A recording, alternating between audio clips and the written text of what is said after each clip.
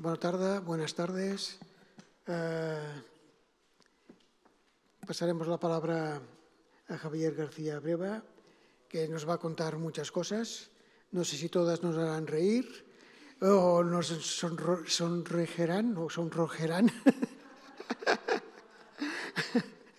Pero de todas formas será muy, muy instructivo, eh, bien, bien seguro.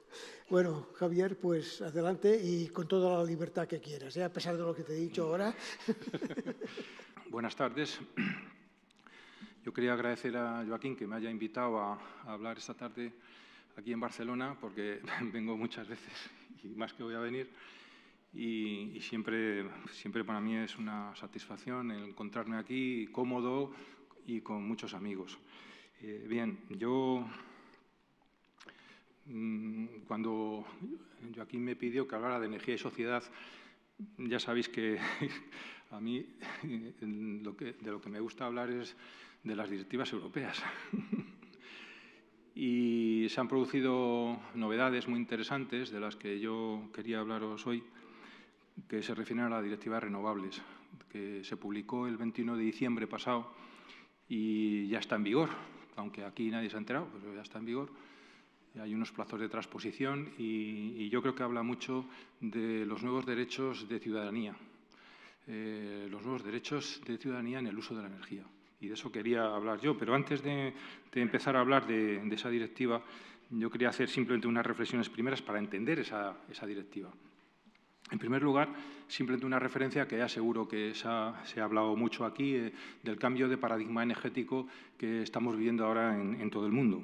Si uno compara los, cómo han evolucionado los costes y los precios de las renovables eh, del año 2010 al 2017 y lo que se espera que evolucionen hasta el año 2040, eh, ojo, no solo en los precios y costes de las renovables, sino en el coste y los precios de las baterías de almacenamiento, eh, veremos que todo lo que prácticamente no se podía hablar hace cinco años o seis años, 2011, 2012, ahora ya sí se puede hablar. ¿Por qué?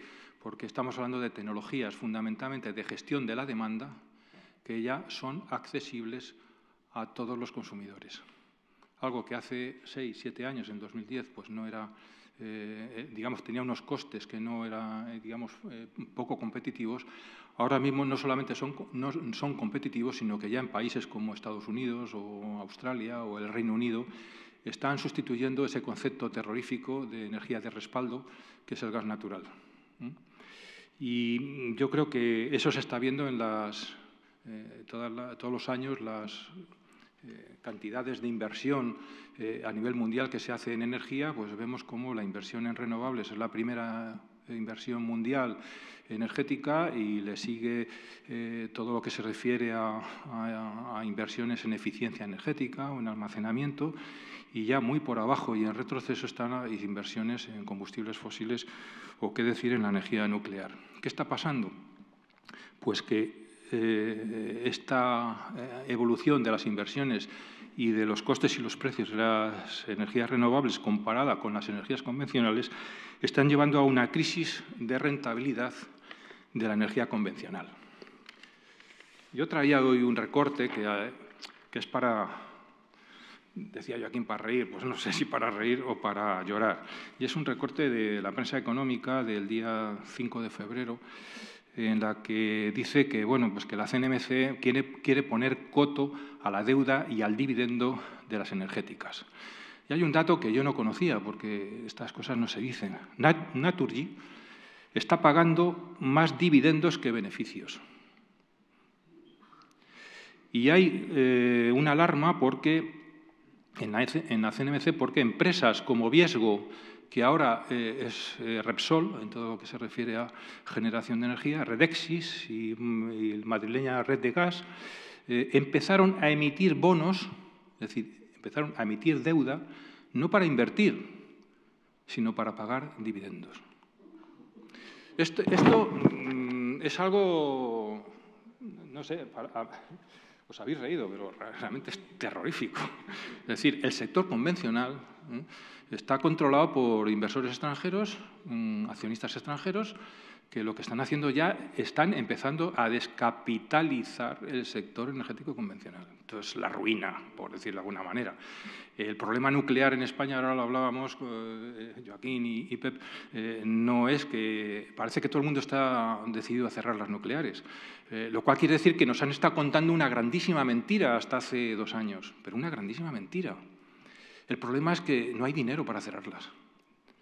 Eran tan baratas, tan limpias, tan tan maravillosas, el kilovatio tan barato, que no hay dinero para cerrarlas. Y yo me temo, yo se lo comentaba, que a mí me están llamando, oye Javier, el tema es que hasta el 2035 el problema no es el plazo, el problema es cómo se va a pagar. Porque si eso va al recibo de la luz, esto no es transición justa, esto es un atraco. Un atraco no a mano armada, pero a, mano nuclear. Bien, eh, ya me he ido del tema. Eh, esa crisis de rentabilidad esto que os hablo son empresas gasistas las que están descapitalizándose. Es curioso. El, sector nuclear, ya os he dicho cómo está. Lo que está haciendo es que a medida que aumenta la velocidad de maduración y de competitividad de las tecnologías que yo llamo, yo ya no voy a hablar de tecnologías renovables, sino tecnologías de gestión de la demanda, a la, vez se está produciendo eh, una pérdida de competitividad de las energías convencionales. Es más, yo os digo, en los próximos cinco años vamos a ver más cambios en el mundo de la energía que en los 50 años anteriores.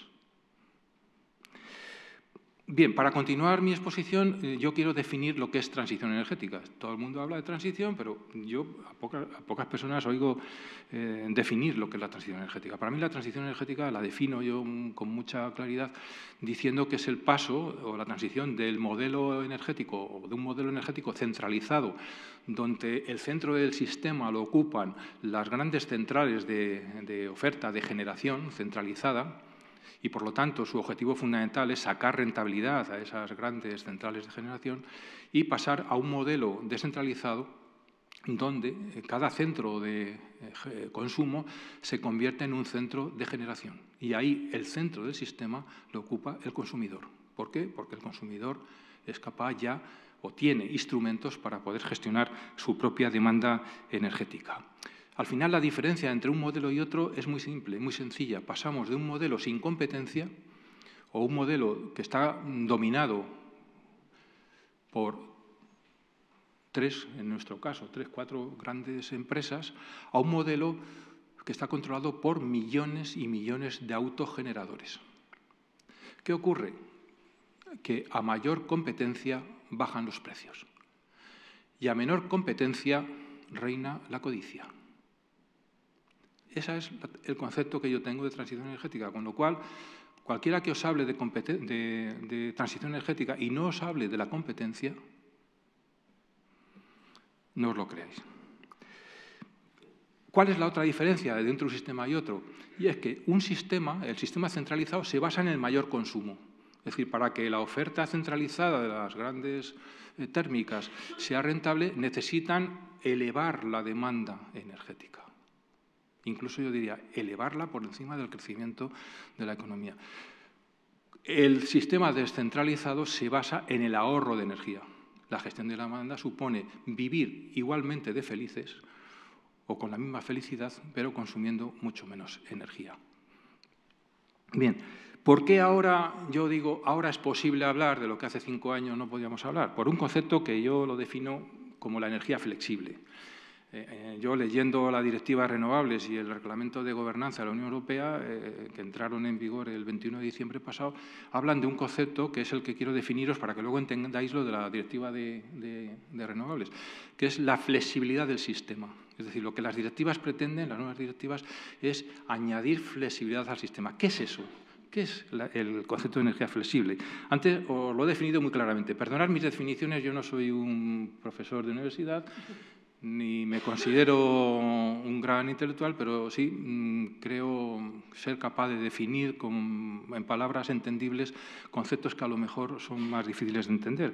Pero la energía flexible es convertir cada centro de consumo en un centro de generación. Es decir, que cada centro de consumo eh, sea capaz de gestionar su propia demanda energética. Eh, esto tiene otra definición más clara todavía, que es poder ajustar la oferta y la demanda de energía en tiempo real en cada centro de consumo. Es decir, que yo desde mi centro de consumo, un centro de consumo puede ser desde una vivienda, un edificio, una pyme o, un hospital o cualquier eh, ente que esté en un edificio y que consuma energía. Eh, mm, eh, ajustar, que yo en mi centro de consumo pueda mm, ajustar la energía que necesito con la energía que yo autogenero y lo puede hacer en tiempo real, de manera que eso al final se traduce en una eficiencia energética que hace que yo solo voy a consumir la energía que realmente necesito, ni un kilovatio más ni un kilovatio menos. Bien, ¿por qué esto yo digo que ahora es posible? Pues porque eh, en qué se basa esa flexibilidad de energía. Por ejemplo, la gobernanza, el reglamento de gobernanza dice que los, eh, esto, esto, apuntároslo porque dentro de unos días presentarán el plan integrado de, energía y clima y entonces vosotros me diréis, coño, esto, no, esto que dice Javier no está aquí. Bueno, a lo mejor está, ¿eh? nos sorprenden y lo ponen, pero el, reglamento de gobernanza dice que en, en, los planes nacionales integrados de energía y clima los Estados miembros deberán incorporar objetivos nacionales de flexibilidad del sistema energético. ¿Estos objetivos cómo se consiguen? Pues por algo muy sencillo, que es la sinergia, es decir, aprovechar la complementariedad entre las instalaciones de autoconsumo, yo aquí añado microredes, autoconsumo compartido, comunidades locales de renovables, con las baterías de almacenamiento, más los puntos de recarga para el vehículo eléctrico, más las aplicaciones inteligentes, llámese en castellano contadores inteligentes.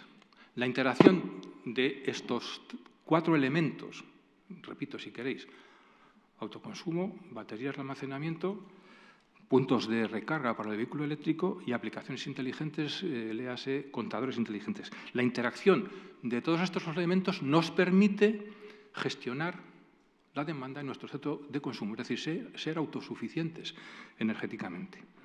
¿Por qué esto es tan importante y por qué no lo digo yo? Lo dice la Directiva de Renovables, el reglamento de, la gobernanza de la acción por el clima, que ya están en vigor y que a los que se tendrán que sujetar los planes integrales de energía y clima. ¿Por qué esto es importante? Porque es fundamental para avanzar en los objetivos de descarbonización y de electrificación. Cumplir el Acuerdo de París, esto lo dice mucha gente, lo dice hasta la patronal eléctrica europea, Euroelectric, manda, manda. Dicen que para conseguir, sí, tiene un informe que está bastante bien, yo no, me acuerdo el nombre, pero es un informe que dice que para cumplir el Acuerdo de París hay que electrificar el 60% de la economía de la Unión Europea. Claro, ¿cómo se consigue electrificar el 60% de la, eh, eh, de la economía europea? Haciendo grandes parques eólicos y, y fotovoltaicos, no os lo creáis. Eso es más energía centralizada al sistema, eso es más derroche de energía sino a través de la energía flexible y a través de tres elementos, que son los contadores inteligentes, la gestión inteligente de la red eléctrica y las tarifas inteligentes o tarifas dinámicas que se llaman. Es decir, eh, pasamos de, fijaros que yo soy analógico, pero pasamos a contadores inteligentes, eh, gestión inteligente de la red y tarifas dinámicas. Eso se hace a través del contador inteligente que todavía hoy sigue siendo, eh, está bajo llave, la llave de las eléctricas y su data puede ser la muerte de todos nosotros si no acabamos siendo dueños de nuestros contadores. ¿Y cuál es la gran y la última la conclusión importante de todo esto que os he dicho? Es que el consumidor es el dueño de la energía flexible. Es la importancia que tiene, es, perdonar que sea tan pesado hablando de las directivas europeas, pero las directivas insisten tanto en la flexibilidad de la demanda, eh, es también porque eso supone un cambio de paradigma en, eh, en lo que es la posición de cada uno en el mercado decir, pasamos de una, digamos, un mercado dominado por las eléctricas a un mercado dominado por los consumidores, porque el consumidor en su centro de consumo por primera vez puede ser dueño de esa energía flexible.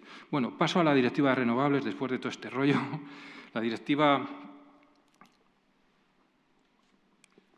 como os he dicho, se, se publicó el 21 de diciembre en el Diario Oficial de la Unión Europea, ya está, ya está en vigor, y mm, yo destaco esta directiva porque mm, habla de un concepto de despliegue eficiente de energías renovables, ¿Qué quiere decir esto? Que lo importante no es hacer las renovables o llenar el, el territorio de renovables. Lo importante es hacerlo de una manera eficiente. ¿Y eso cómo se hace? En parte con todo lo que os he explicado anteriormente de la energía flexible, pero en otra parte por el autoconsumo. Y la directiva de renovables, eh, ese despliegue eficiente, lo traduce en algo que no existe en nuestra regulación eléctrica, que son lo que yo califico como nuevos derechos de ciudadanía. Y yo mm, no, os voy a contar la directiva, porque entonces me echáis, pero sí os voy a contar los 12 derechos que yo he entresacado del texto de la directiva, los 12 nuevos derechos que tenemos los ciudadanos consumidores eh, a través de esta directiva. El primero es el derecho al autoconsumo. Pero mm, fijaros, en el artículo 2 de la directiva se define el autoconsumo como el derecho a generar, a almacenar, es decir, autoconsumo con almacenamiento, a consumir y a vender nuestra propia energía renovable en condiciones justas. Es decir, la directiva habla de que hay que compensar la eh, energía que se vierte a la red, pero hace una matización. Siempre que no sea la actividad principal comercial o profesional del consumidor o del cliente final. Esta matización a mí es que me encanta. ¿Eh? Porque sí, tengo otro recorte periódico, no lo saco porque no tengo tiempo. Donde yo el otro día leí, me asusté porque hay una multinacional española, no voy a decir el nombre porque no viene a cuento, podéis encontrar la, encontrar la información en mi página web la podéis encontrar en la página web de la oficina de Javier García Breva. Y eh, vi un titular que me dejó espantado, de, más o menos venía a decir que está en nacional que el decreto este de autoconsumo del mes de octubre del 15 barra 2018, pues eh, a partir de ahí se ha abierto el apetito, la palabra apetito es tremenda, apetito inversor en fotovoltaica en España y esta empresa anuncia rentabilidades entre el 15 y el 20% para instalaciones de autoconsumo fotovoltaico y rentabilidades entre el 10 y el 15% para instalaciones fotovoltaicas a gran escala. Yo cuando lo leí, pues como vosotros ahora mismo, me quedé aterrado. Digo, ya estamos, ya hemos vuelto a la burbuja. Yo he escrito un artículo, lo podéis ver en mi página, donde, bueno, pues más o menos vengo a decir que vale ya, ¿no? Vale ya. Y cuando yo leí esta definición de autoconsumo, dije, hombre, esta es la respuesta. La respuesta es siempre que el autoconsumo no sea la actividad eh, eh, principal, comercial o profesional del, cliente final. Es decir, el autoconsumo no es para obtener beneficios financieros. Hay el segundo derecho, es el, derecho al autoconsumo compartido, es decir, esto mismo, pero a partir de dos, consumidores, que se pueda intercambiar la energía eh, producida. Hay un tercer derecho que me parece fundamental, es una inclusión que le va a encantar a Pep, que es el derecho a la comunidad, yo añado local, a la comunidad local de energías renovables. Y lo define en el artículo 2 como la asociación de personas, personas físicas, personas jurídicas, autoridades locales, que yo digo municipios, ayuntamientos, que se asocian para hacer un proyecto de energías renovables en el entorno, en la zona es decir, esto no es digital, es real, físico, yo diría. ¿eh? Hacer instalaciones renovables en la zona, pero luego dice, con el objetivo de obtener para los socios beneficios ambientales, sociales, económicos y beneficios para la zona, para el desarrollo de la zona, pero no beneficios financieros. No lo dice Javier, lo dice la directiva, cuando define la comunidad local de energías renovables. Y luego dice en otros artículos que las autoridades locales deberán de participar e impulsar, no solo los Estados miembros, sino las autoridades locales deberán y participar en comunidades locales de energías renovables. Está claro que la directiva renovable nos está hablando de un concepto eficiente de energías renovables que está más cerca de la economía productiva que de la economía especulativa. Cuarto derecho. Bueno, estos son los derechos que yo he entresacado. Seguro que si la leéis vosotros saquéis más, pero yo he sacado estos. Derecho a contratar la compra de electricidad renovable. Estos son los famosos PPAs. A mí no me gusta hablar de PPAs, pero eh, eh, hay PPAs buenos para mí. ¿eh? Seguramente aquí había alguien, Javier, estás mm, totalmente equivocado, pero bueno, yo mm, hay PPAs físicos, es decir, los PPAs que están vinculados a, instalaciones renovables cercanas al centro de consumo y PPAs virtuales que yo hago una planta fotovoltaica en Salamanca y la vendo en Japón. Hombre, pues a mí eso pues no sé, me cuesta mucho. Pero mm, los contratos de compra de energías renovables eh, eh, en, entornos cercanos o en el entorno este de las comunidades locales de energías renovables, me parece eh, que es un derecho también que va a beneficiar bastante el desarrollo de las renovables. Hay un quinto derecho que es el comercio entre pares de energías renovables. Esto a mí me parece muy importante, sobre todo para aquellos entornos donde, eh, por ejemplo, ahora se habla otra vez, menos mal, de las redes cerradas que se quieren eh, establecer, pues bueno, pues que tanto las redes cerradas como los sistemas de district o de sistemas centralizados de calefacción y refrigeración tienen derecho a suministrarse de energías renovables, a crear mercados de energías renovables para eh, estos, estos centros de consumo. Mm, sigo, hay otro derecho que me parece importantísimo y este sí que habrá que vigilar, vamos, no sé lo que va a pasar pasado mañana, pero, pero este es un derecho fundamental, a eximir de los sistemas de licitación o de subastas, estas son propuestas que hace eh, eh, el reglamento para que los Estados miembros las apliquen. Luego los Estados miembros harán lo que les haga de las narices, pero mm, eh, yo creo que yo sigo siendo optimista y creo que las directivas valen para algo. derecho a eximir a las pequeñas instalaciones de los procedimientos de subasta o licitación. Y que las subastas, el reglamento habla de licitación, las licitaciones de energías renovables eh, no sean discriminatorias y que apoyen a los pequeños actores o a las autoridades locales, a los municipios, para que participen en esas licitaciones de, proyectos de energías renovables. Se quiere que en estas subastas o licitaciones, ojo con lo que pueda pasar en el futuro, no se discrimine a las pequeñas instalaciones, sino todo lo contrario, haya una eh, perdona, no quiero hablar de discriminación positiva, pero ¿me entendéis lo que os quiero decir? Que en esas subastas se tenga una preferencia o se dé un apoyo a las pequeñas instalaciones renovables. A mí esto me parece fundamental y además aquí se cita a las autoridades locales o a las eh, entidades locales como que pueden participar también en esas licitaciones y que no eh, se les discrimine. Bueno, todos los que sepáis el, futuro, el pasado del que venimos, pues veréis, estos son mm, eh, palabras celestiales. el séptimo derecho que yo he descubierto es el, el derecho a la no retroactividad. Esto sí que está pensado para España dice clarísimamente que no se aceptarán medidas eh, retroactivas que perjudiquen la viabilidad de los proyectos eh, cuando se aprobaron y se aprobaron en determinadas condiciones. Es decir, un no clarísimo a lo que han hecho ministros como Miguel Sebastián, como José Manuel Soria o como Álvaro Nadal. Espero que no aumentar la lista.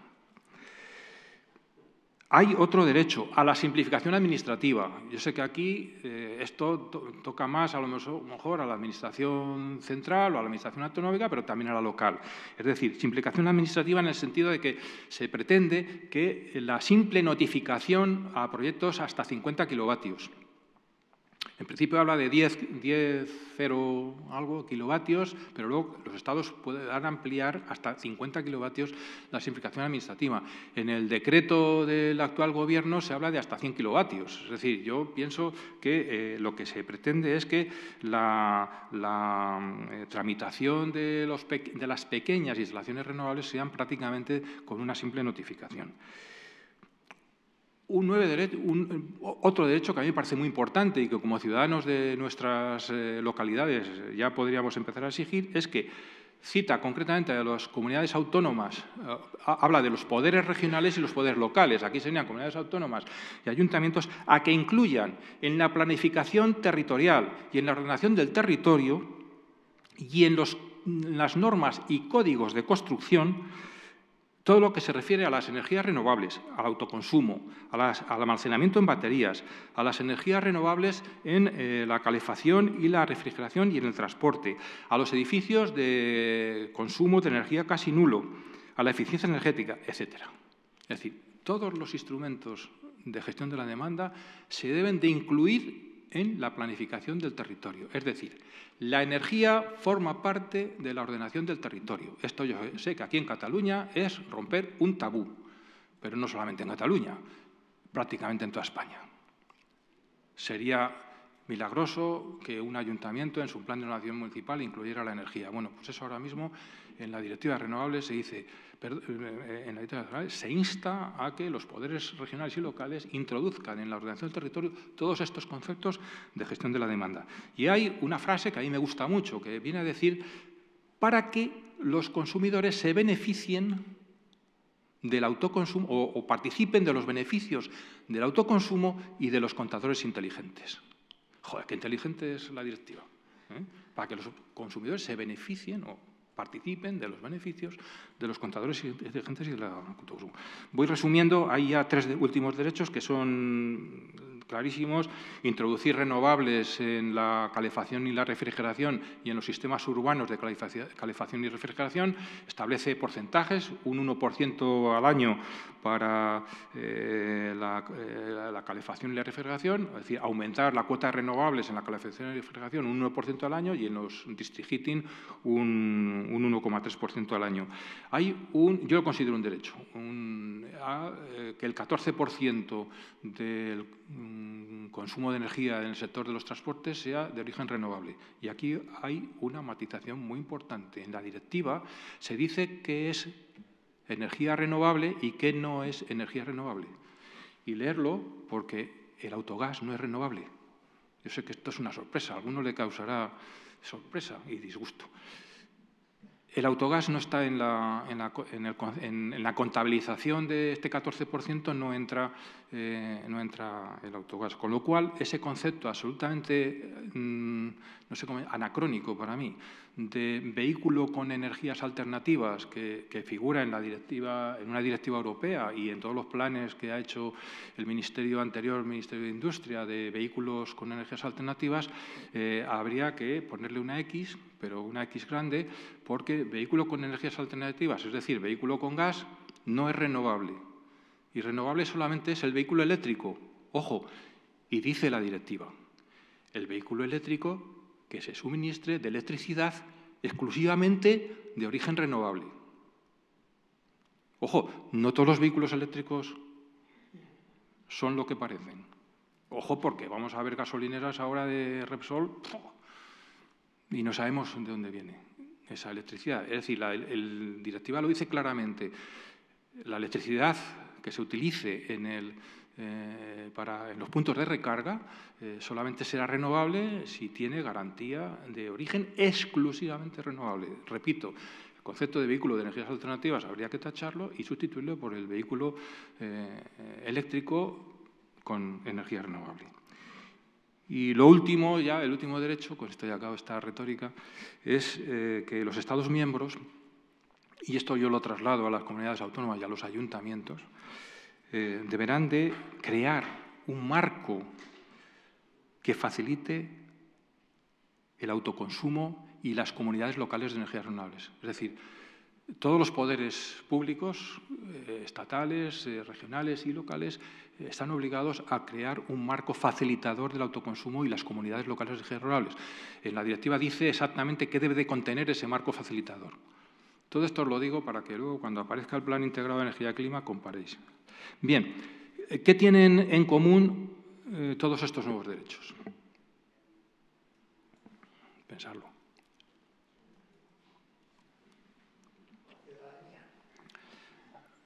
Más importante, afectan fundamentalmente a competencias exclusivas de las comunidades autónomas y de los ayuntamientos. Si os dais cuenta, la mayor parte, ¿eh?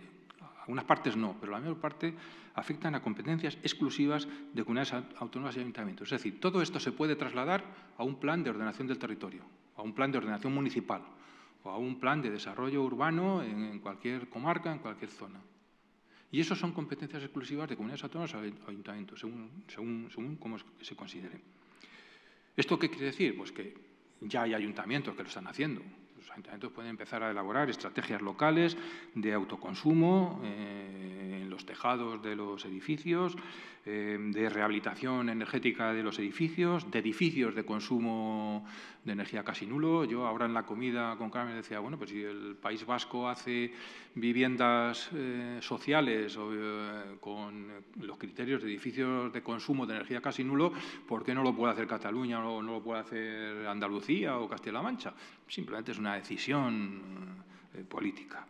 Em, estrategias de, sustituir eh, la calefacción y refrigeración con energías fósiles por energías renovables, eh, estrategias de movilidad sostenible o de movilidad eléctrica.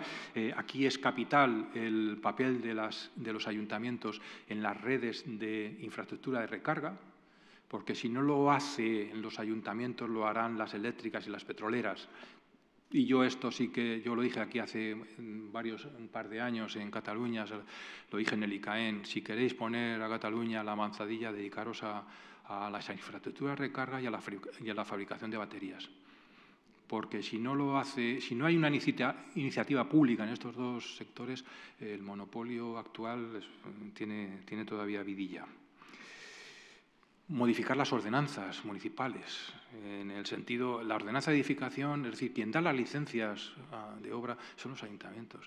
Y yo siempre lo he dicho, si un ayuntamiento te puede decir de qué color tienen que ser los ladrillos, ¿por qué no te va a decir dónde se instala el contador?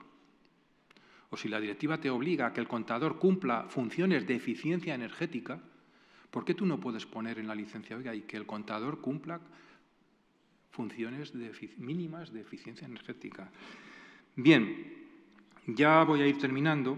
Esto, insisto mucho porque la clave de todo esto es el edificio.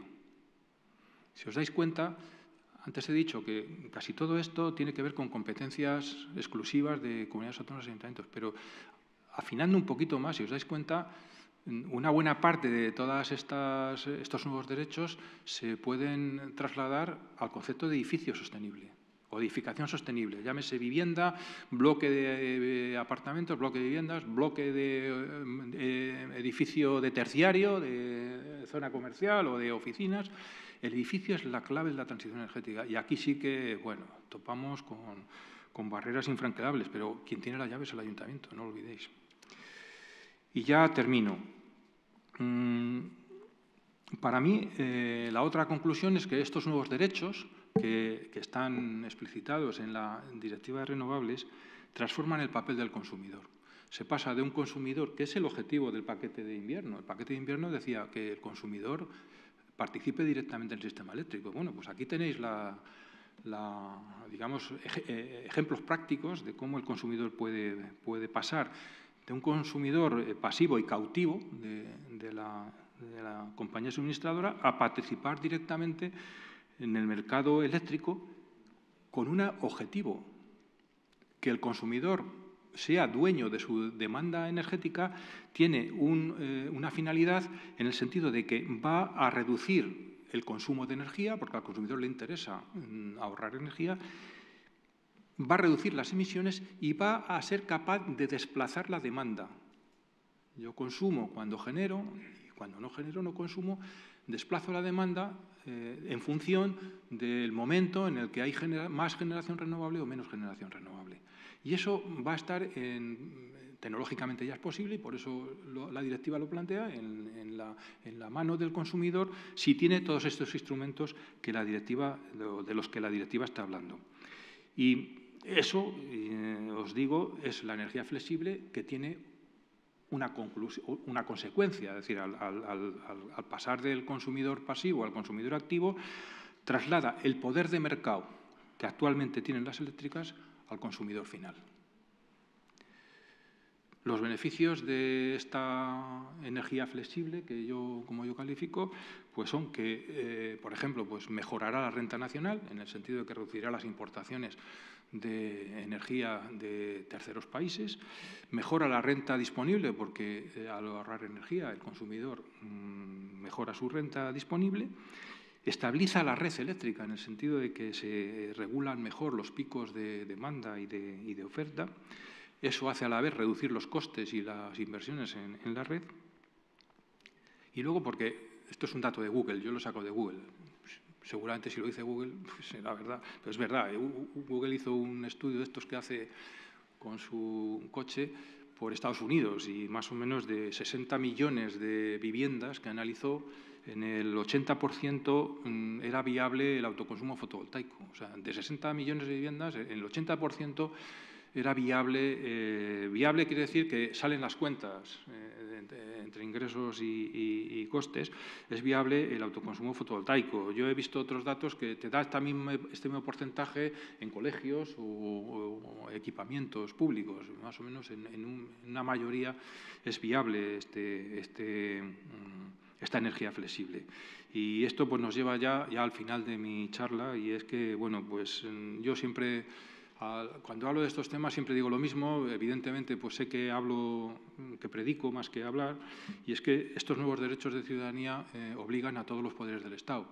Las directivas europeas, aunque en este país no se, no se respetan, eh, porque no se transponen eh, simplemente, obligan a todos los poderes del Estado. Y los poderes del Estado son el Poder Legislativo, el Poder Ejecutivo y el Poder Judicial. Y evidentemente yo creo que estos derechos de ciudadanía hay que defenderlos. Y si no se defienden aquí, pues habrá que ir al Tribunal de Justicia de la Unión Europea, como, como ha pasado con la ley hipotecaria y con otros temas. ¿no? Mm, pero esto es fundamental. Yo cuando hablo de esto hablo de, de, leyes que están publicadas en el Diario Oficial de la Unión Europea. Y en segundo lugar, otra experiencia que está pasando en todo el mundo. Y es que el poder se está desplazando de lo nacional a lo local mediante la gestión de abajo arriba de, los, de, lo que son problemas globales. Y los problemas globales, pues, los principales son la contaminación atmosférica, el cambio climático, sus efectos en la salud, el empleo. Y esto está pasando a través de un fenómeno que yo ya he citado varias veces y lo repito, y es la integración de la energía en la ordenación del territorio. Esto lo cambia todo. Y yo por eso, pues ya termino, soy optimista.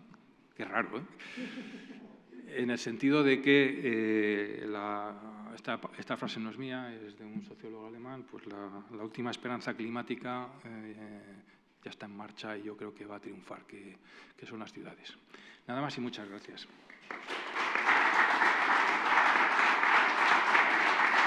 Bé, doncs moltes gràcies. Introduïm un tema doncs, que era difícil que participés en el Congrés, eh, l'aspecte de salut, no? Que malgrat ser molt important, doncs, com que aquestes classificacions administratives i així van com van, doncs eh, és, és, ha sigut difícil, però és un tema fonamental. No? I és un tema doncs, que, influ, que està influint en el tipus de vehicles que tenim a les ciutats, etc. i per tant agraïm molt doncs, la seva participació aquí perquè ja dic, és molt important i procedirà després a la formació, tant a formació professional com a, a a secundària. Doncs moltes gràcies. Poden col·locar, hem portat una presentació, amb el seu permís. Val. Suposo que m'entendrem aquests catxarros, jo també sóc analògic i ens hi haurem d'anar adaptant. Eh? Aviam, ens han posat un títol, que és Millora de la salut local amb la transició energètica, i jo quasi diria que en realitat la meva intervenció anirà en el sentit de justament tot el contrari, de què passarà si no millorem la transició energètica, quines són les conseqüències si ho enfocaríem des d'un punt de vista, diguem-ne, de, de la seva situació més extrema, com seria el context del canvi climàtic amb totes les progressions que això puguin, puguin suposar. Suposo que en aquests dies ja hi ha algun d'aquests temes haurà sortit sobre la taula, per tant em disculpo si, si repeteixo, però intentarem avançar-nos aquí. Aviam, eh, intentant posar-nos primer en context, vostès són experts en tota aquesta aquesta temàtica, nosaltres la nostra guerra és, és molt diferent, que hace un médico como yo en un lugar como este, i aquí estem. No? Eh, aquest és, el nostre, és un dels grans problemes que tenim en la salut pública en el moment actual. Eh? Dos dels grans, grans, grans problemes, a part dels clàssics de tabac, etc etc, dos dels grans problemes que configuraran la salut pública del, del futur són essencialment la globalització i el canvi climàtic. Aquests dos elements actuant conjuntament són un dels problemes principals que, que tindrem. Ja si això... Next? No next. Houston, ara. Queda una mica descentrat, però bueno. Ara. Aquí hi ha un esquema que, que, que procedeix d'una de, de les revistes mèdiques més clàssiques, el Lancet, una mica complexa. Jo buscaria aquest altre, que segurament és bastant més explicatiu. No? Vostès coneixen efect, quins són tots els efectes, evidentment, que es produeixen en tot el tema de, de, de canvi climàtic, el tema d'increment de la contaminació, més condicions extremes en el, en el temps, això va donant voltes, tots els temes de temporalitat, eh, increments dels nivells de CO2, de gasos hivernacles, d'efecte hivernacle en general, tot això té impactes. Té impactes sobre la contaminació de l'aire, sobre el canvi de l'ecologia dels vectors, eh, el, el context en el qual es reprodueixen determinats vectors canvia i adopta característiques que no són pròpies del nostre clima que teníem fins al moment actual, l'augment dels al·lergens també per canvis en les, en les vegetacions, l'impacte en la qualitat de l'aigua, en l'impacte en el subministrament d'aigua i aliments, estem parlant de les grans inundacions, dels problemes greus de sequera que tenim especialment en la conca, o que tindrem especialment a la conca mediterrània, tots els temes de degradació ambiental, calor extrem o temperatures extremes, tant en calor com en fred, i condicions de temps sever. Tot això dona impactes en salut, no veig que no es veu excessivament bé, però asma, malalties cardiovasculars, es veu aquí. Ah, perfecte, aquí no es veu també temes de, mm, relacionats amb brots epidèmics, eh, malària, encefalopaties, eh, el chikungunya, tots uns noms d'aquests que de tant en tant ens obliguen els de salut pública a aparèixer per les televisions i dir paraulotes estranyes i crear una, una, un ambient de ui, ui, ui, el que va passar. Eh, temes d'al·lèrgies, com els deia, temes també de més, més tipus d'infeccions, temes de desnutrició, hi ha canvis amb, amb, a l'haver-hi canvis amb les temperatures en el clima, hi ha canvis en les collites, tot això problem, hi ha problemes d'alimentació i per tant de desnutrició i justament el contrari, d'obesitat també per malnutrició, tot temes de eh, calor, etc. Eh, el Lancet, com els deia, cada any fa un, un report sobre quins són els efectes del canvi climàtic sobre la salut de les persones i en el del 2018, va sortir recentment, ens parla de que això s'està disparant enormement. Els canvis de temperatures, especialment el que són les onades de calor, els cops de calor, estan tenint uns increments notabilíssims des del 2000 fins al, des del 1990 fins al 2017. S'ha produït un increment de 157 milions de persones més exposades a aquests canvis de temperatura, un impacte que, que això té sobre hores de treball no realitzades, baixes mèdiques, també els canvis en les temperatures i els canvis en els microclimes produeixen canvis, com els deia, amb el tema dels vectors. Què implica això? El, el risc, per exemple, de còlera a la costa bàltica, eh, semblaria que no lliguessin els dos conceptes, s'està incrementant també enormement en els darrers anys i el mateix està passant a les planeres de l'Àfrica subsahariana en temes com són doncs, el dengue i altres malalties d'aquest tipus. Per tant, ja estem tenint a nivell planetari un impacte importantíssim de problemes de salut, problemes greus de salut a nivell doncs, de, com a conseqüència de, del canvi climàtic. Algun exemple de l'entorn nostre basant-nos en tres elements. No? Els impactes dels canvis climàtics sobre la biosfera, això vol dir canvis de temperatura, com els deia, inundacions, sequeres. Tot això origina canvis de rutes migratòries i de freqüències migratòries de les aus. Moltes espècies d'aus fan contínuament, com vostès saben, els viatges des d'Àfrica i altres llocs doncs, cap aquí. Aquí tenim uns aiguamolls importants al Llobregat, a l'Ebre, al, Ter, i per tant són parada de moltes d'aquestes espècies que quan canvien freqüències o rutes i passen per aquí, eh, visites que no teníem fins ara les comencem a tenir. I un tercer element, la globalització. Això vol dir que una persona a la qual li piqui un mosquit determinat al mig de la selva africana més intrínseca i més complexa i llunyada que s'us pugui ocórrer, en poques hores aterrarà tranquil·lament a l'aeroport del Prat amb una malaltia posada que li esclatarà al cap d'uns quants dies un cop ja estigui aquí. Aquests tres elements ens donen doncs, algunes circumstàncies com que eh, cal, per exemple, que eh, en un entorn determinat tinguem uns agents, estem parlant de microorganismes, imaginem-nos algun tipus de virus, aquests agents són recollits, eh, acollits i transportats per reservoris i per vectors, vectors moltes vegades insectes, per exemple, mosquits, I si hi ha persones susceptibles, hostes, ja tenim un problema de salut important, ja tenim un, un potencial brot eh, epidèmic en, a casa nostra. Si això succeeix en terres llunyanes, on sol passar sempre, quan ens arriben els turistes catalanets el mes de setembre-octubre que han anat a visitar aigües eh, translúcides, pures, etc i climes eh, diferents, setembre-octubre tenim les nostres unitats de medicina tropical plenes fins, fins amunt. No passa res. Eh? Són malalties importades, les tractem i ja està aquí. Però quan aquest eh, conjunt de quatre elements, agent, reservori, vector i hoste, els tenim a casa nostra, això es transforma en un problema autòcton. Això ha succeït ja en determinades circumstàncies i ara els hi explico alguna. Vostès coneixen ja, segur, molts segurament l'hauran patit, el mosquit tigre, eh? Eh, més conegut com l'Aedes albopictus. Eh, D'això fa 20 anys és que no en sabíem ni que existís pràcticament. Eh? No el teníem. El 2004, fixin-se aquí hi ha una mica el mapa de, de desenvolupament, amb color blau clar, eh? sense aquella taqueta, allò s'han Cugat ens apareix el 2004 a Sant Cugat. No passa res. Eh? Sembla que el mosquit tigre va arribar a terres europees, primer va, va arribar a la, a la península balcànica, després va arribar a Itàlia, després va arribar a França i sembla que diuen que la vinguda original va ser a través de vaixells que transportaven cobertes de pneumàtics reciclades procedents del sud-est asiàtic. Quan plou, l'aigua queda acumulada dintre de les cobertes, això dona un hàbitat ideal pels mosquits, per les larves ous i larves d'aquest tipus de mosquit, que és completament similar a tots els efectes, amb els forats dels arbres on crien habitualment en el seu context, i van arribar a través d'aquests vaixells fins a Europa. Eh, per la causa que sigui, ens apareix a Sant Cugat 2004. Fixin-se l'evolució que es va produint en el reste d'anys. Eh? Aquí és fins al 2010 i de Sant Cugat passem aquí, però és que aquest és el panorama l'any 2017.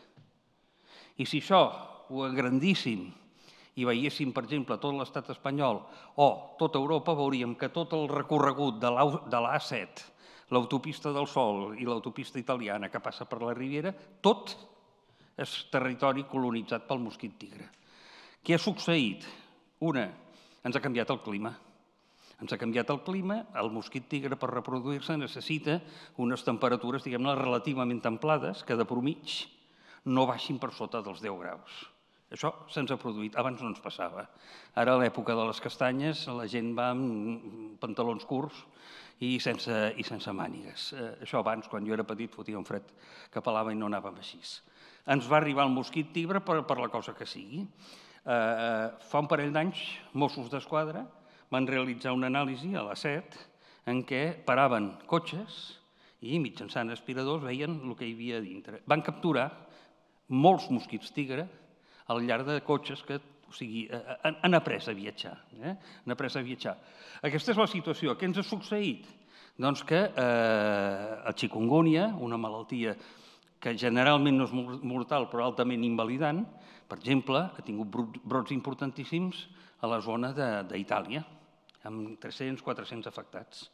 A Catalunya, recentment, vam tenir que publicar el primer cas de dengue autòcton, és a dir, ja no són turistes que venen infectats, sinó que són turistes que venen infectats, que aquí troben el, el vector amb unes condicions que abans no haguéssim tingut, piquen aquest turista i piquen a posteriori a una altra persona que s'havia sortit de casa seva i li transmeten la malaltia.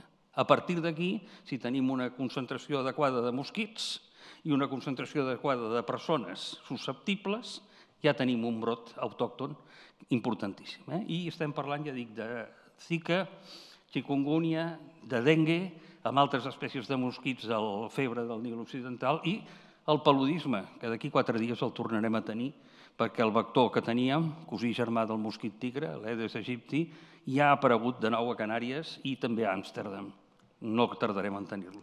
Aquest és un dels elements, però un, altre element que tampoc no teníem. L'any 2003 ens va sorprendre a tots plegats, els que estem en salut, que de cop i volta, al mes d'agost, vam començar a tenir els serveis d'urgències a tope, a ciutats com Barcelona, i una morbilitat, malalties que es descompensaven, i una mortalitat enormes. El que va passar a Barcelona va ser pràcticament ridícul comparat amb el que va passar a París, que va ser centenars d'afectats i de morts que es van produir. Estem parlant dels cops de calor com a conseqüència de les onades de, de, les onades de calor. Això tampoc ho teníem eh, documentat.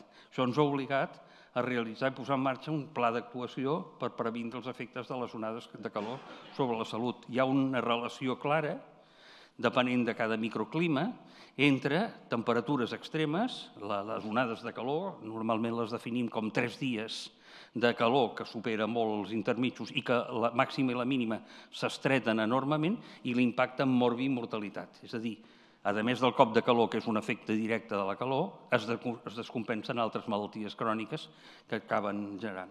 Cada lloc és diferent, dependrà molt del microclima i fixin-se aquí que tenim diferents llocs, diferents temperatures, diferents llindars d'aparició dels cops de calor. Per tant, aquest és un altre dels problemes que tenim, i pensem que, per exemple, l'any passat vam tenir un registre, el pitjor des del 2003, en què vam tenir 65 persones diagnosticades de cop de calor, de les quals, perdó, 27, 27 van morir.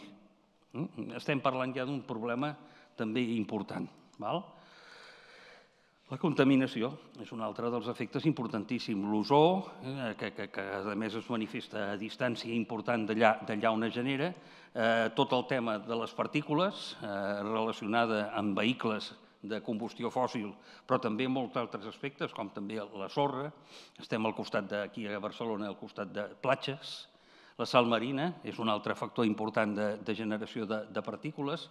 Els incendis, el calor també, els efectes a les ciutats, com l'efecte d'illa de calor i de càpsula de gasos, tot això tenen un impacte importantíssim en contaminació que tenen eh, efectes sobre la salut molt, molt notables. Eh? Això també es calcula que a Catalunya tenim aproximadament unes 3.500 morts relacionades amb la contaminació atmosfèrica per any en promig. Per tant, va, va prenent un cert, un cert clima la cosa. No?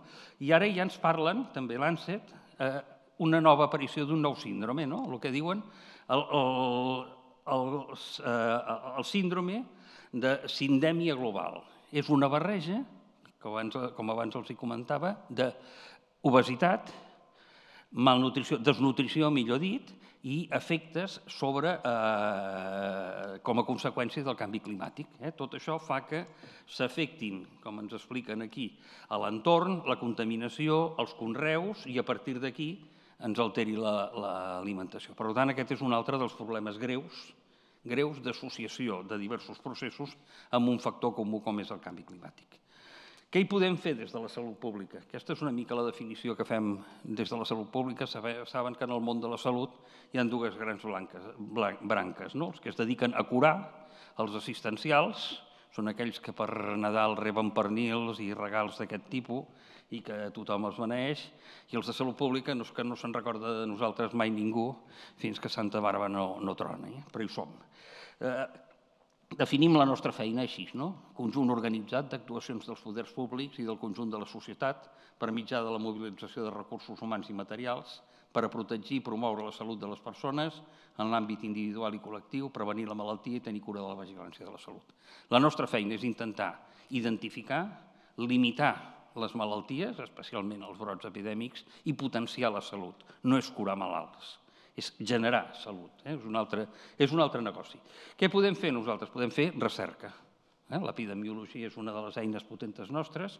Realitzar denúncia. Eh? És important que tots aquests elements, la salut, possiblement el canvi climàtic, les alteracions climàtiques, eh, tot el que deriva de les energies eh, fòssils, per si sol tenen una venda relativament escassa. En quan impacten sobre la salut, això ja arriba molt més directe a la gent. No? Per tant, la denúncia.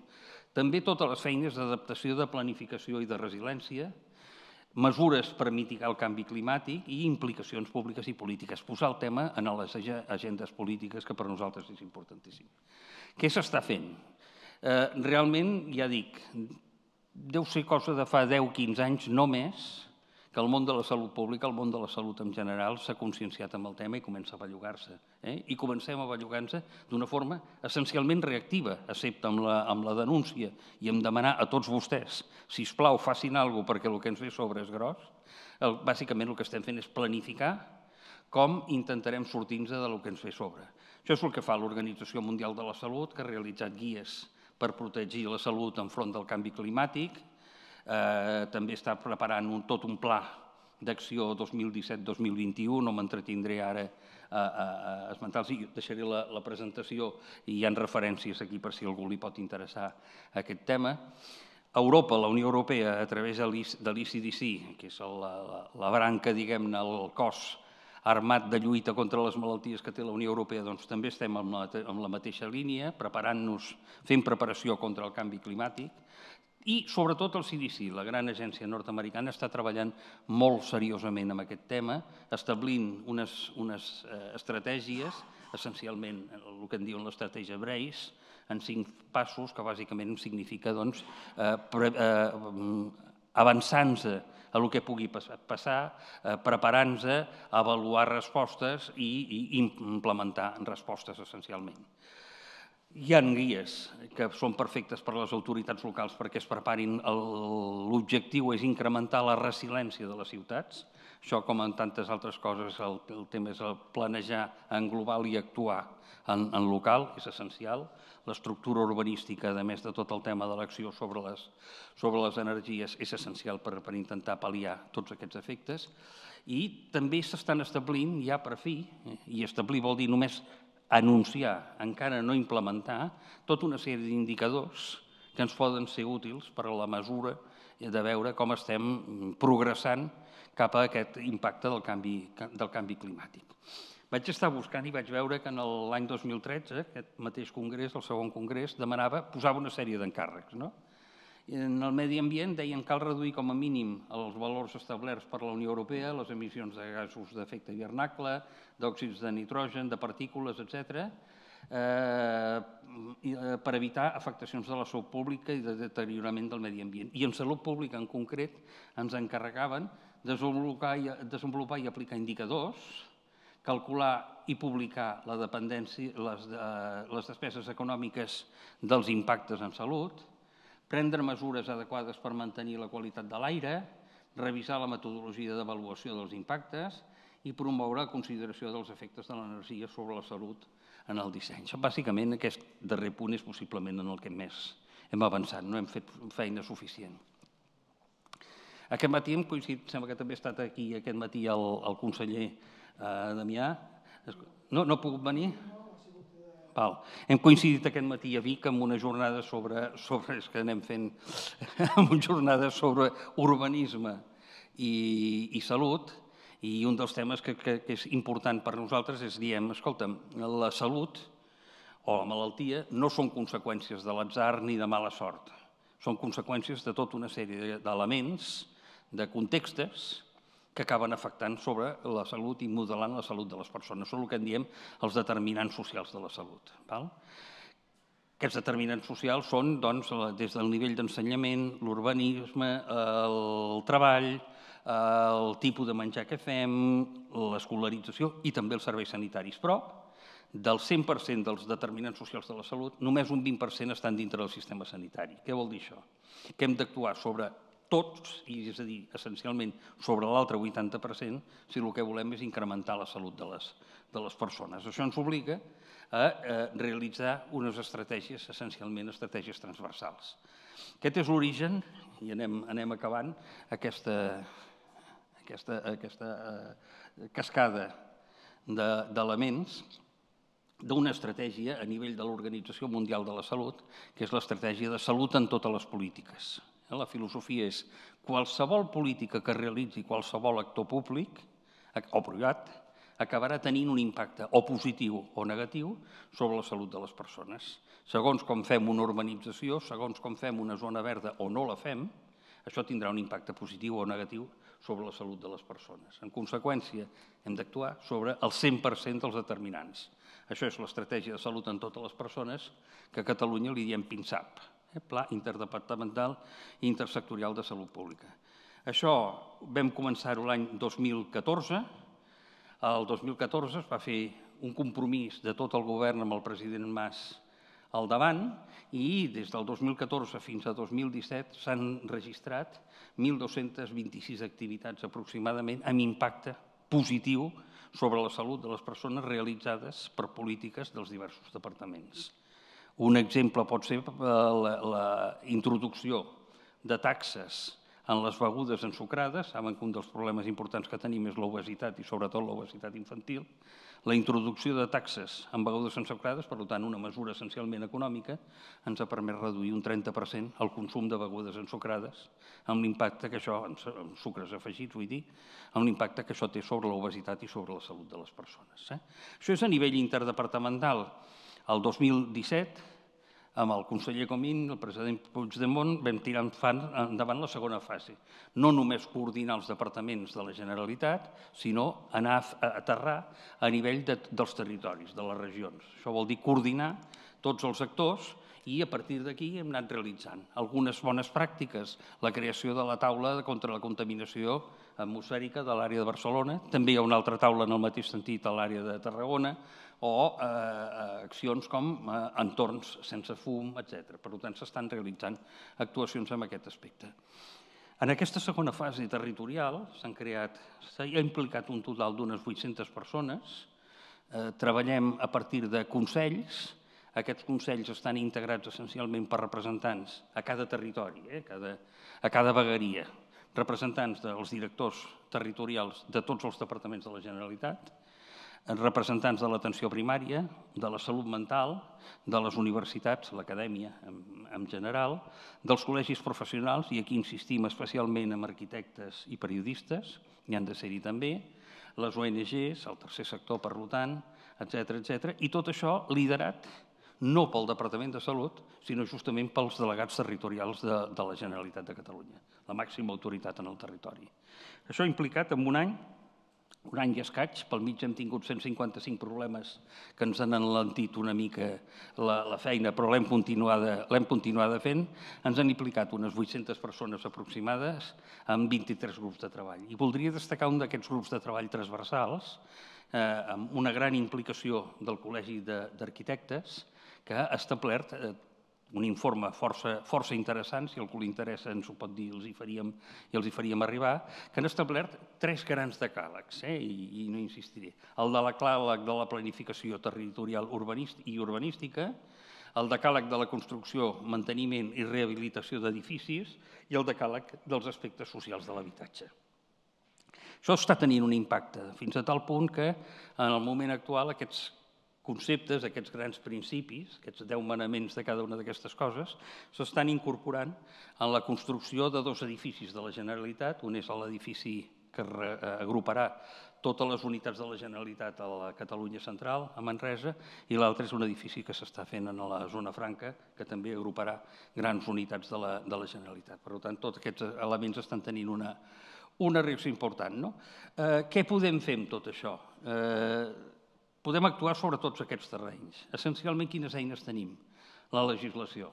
La legislació és una eina potent en salut pública. Eh? Abans ens dedicàvem a explicar-li a la gent que això de fumar era molt dolent, que produïa el càncer, ara hem vist que això no és suficient, la gent segueix fumant, però en canvi quan posem una legislació i posem sancions, baixa. I millorem les, les xifres de gent afectada per cardiopatia isquèmica d'una forma realment dramàtica. Per tant, funciona la legislació els protocols i recomanacions, el tema d'intentar establir mesures d'eficiència energètica, la vigilància epidemiològica, el veure per on van els trets és importantíssim, la informació preventiva, la detecció d'efectes en salut mental, els controls, tot aquest tipus de coses són molt, molt importants per realitzar des de la salut pública. No oblidar gens que també eh, les inequitats són un dels elements importants en salut pública i que també venen tots aquests efectes que estem parlant del canvi climàtic sobre la salut, són molt més accentuats, hi han diferències dependents de classe social, etc. No? I això vol dir que hem de treballar sobretot amb temes de gènere, classe social, d'edats, els afectats pels cops de calor són essencialment gent gran, molt gran, o nadons, essencialment, als llocs de residència, hi ha diferències, ja es diu que és més important per la salut de les persones el, número, el, el codi postal que no pas el codi genètic, i és una realitat. A Barcelona 10 minuts de diferència en metro signifiquen 7 i 8 anys d'esperança de vida en néixer, eh, quasi nada. Eh, el tema de, del tipus d'habitatge que, que existeixi, no és el mateix una persona de 80 anys vivint en un quart pis sense ascensor que vivint en una planta baixa i amb aire condicionat per supercàs, el tipus de treball, el, tema de gestació, el tema de les malalties mentals. Amb això hem volgut fer una, una pinzellada molt ràpida, poder excessivament ràpida, i els hi dèiem que més que res eh, no és el que es pot fer eh, si aconseguíssim aquesta transició energètica de la que estan treballant, segurament aquests problemes els pal·liaríem en bona part. No pateixin que ens en sortirien de nous. Eh? O sigui, tot el tema dels impactes de les zones electromagnètiques i tot això també els tenim a la nostra taula i cada vegada més i, i formen part d'aquest nou, nou planeta. Per tant, posar-me a la seva disposició nosaltres i el, i el Departament de Salut i eh, res més. Moltíssimes gràcies.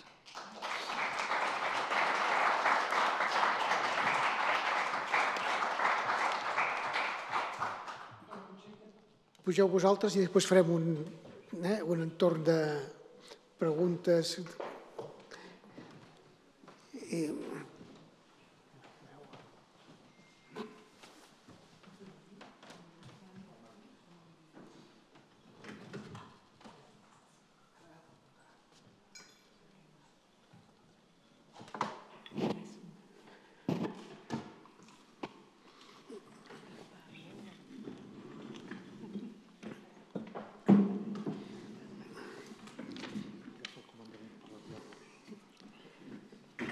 Bé, doncs ara mm, hi haurà la darrera presentació d'avui per a dues persones amb molta experiència, que són sòcies de, de la Societat Catalana de Tecnologia i mm, dels... Cicles formatius. I del, com se diu? El, del, no, no, però del, de la Junta, ara. I també de la Junta, tots tres som de la Junta d'allà i són formació professional i secundària. I, bueno, fan moltíssimes coses i l'energia és una d'aquestes i precisament per això els hem convidat aquí. Doncs ja us ho repartireu com us sembla a vosaltres. Eh? Pues, si ens podeu ficar la presentació, no en farem molt, bueno, jo no faré molt de cas a la presentació, Eh, hola, bona tarda. Gràcies per convidar-me aquí, estar aquí amb tots vosaltres. Eh, també han sigut molt interessants les xerrades que fins ara he escoltat. Jo sóc professora de cicles formatius. Eh, aleshores, el que vinc també és una mica què és el que tenim a nivell d'energia per transició energètica, com, és, com ho estan visquent les escoles. El primer que jo podria dir és que nosaltres el que fem és formar, diguem-ne, els professionals que portaran a terme aquesta transició energètica. Són els que estaran en l'actualitat, què és el que tenen, què és el que es troben, i el primer que he fet jo ha sigut una prospecció per veure eh, una persona que vol estudiar un cicle formatiu d'energia, per exemple, o un, un cicle d'això, què és el que es trobarà quan busca en el senyor Google. La veritat és que trobem poca informació realment molt actualitzada de com està el tema d'energies renovables a Catalunya. I, de fet, la informació que trobava jo era del 2013, amb la qual cosa et desespera una mica perquè dius, què passa, que no hem millorat? Aleshores dius, quan parles amb els tècnics a la Generalitat ja és el que et diuen, sí que va haver-hi un boom, però de cop i volta hi ha hagut una davallada molt gran a nivell, diguem-ne, de les, dels cicles d'energia. Per què? Justament perquè no hi ha una informació eh, no trobes la, les coses actualitzades, no saps què està. L'únic que trobes és el que, és el que aquí tenim, que és el que nosaltres hem trobat a nivell, diguem-ne, europeu.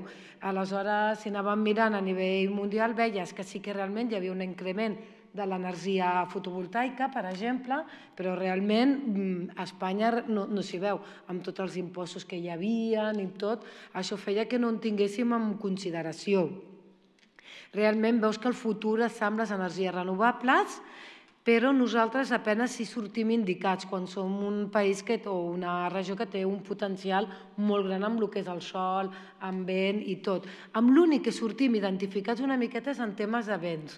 Aleshores, amb el que és energia eòlica, que inclús parlant amb les escoles que porten energia renovable, on han trobat realment molta sortida els seus tècnics és en el manteniment d'aerogeneradors I inclús dir pues, que, per exemple, a Tarragona, a l'Institut Pere Martell, realment, per demanda dels professionals, diguem-ne, de les empreses, han fet eh, un mòdul específic en manteniment d'aerogeneradors per tal de poder ells més o menys eh, de fer, bueno, perquè és la demanda que teníem. No, passa, passa cap enrere. Ui, t'estàs anant molt... No, és que buscava la del institut. Sí, no, no, que això no surt. Aleshores, eh, espera, surto i ja està.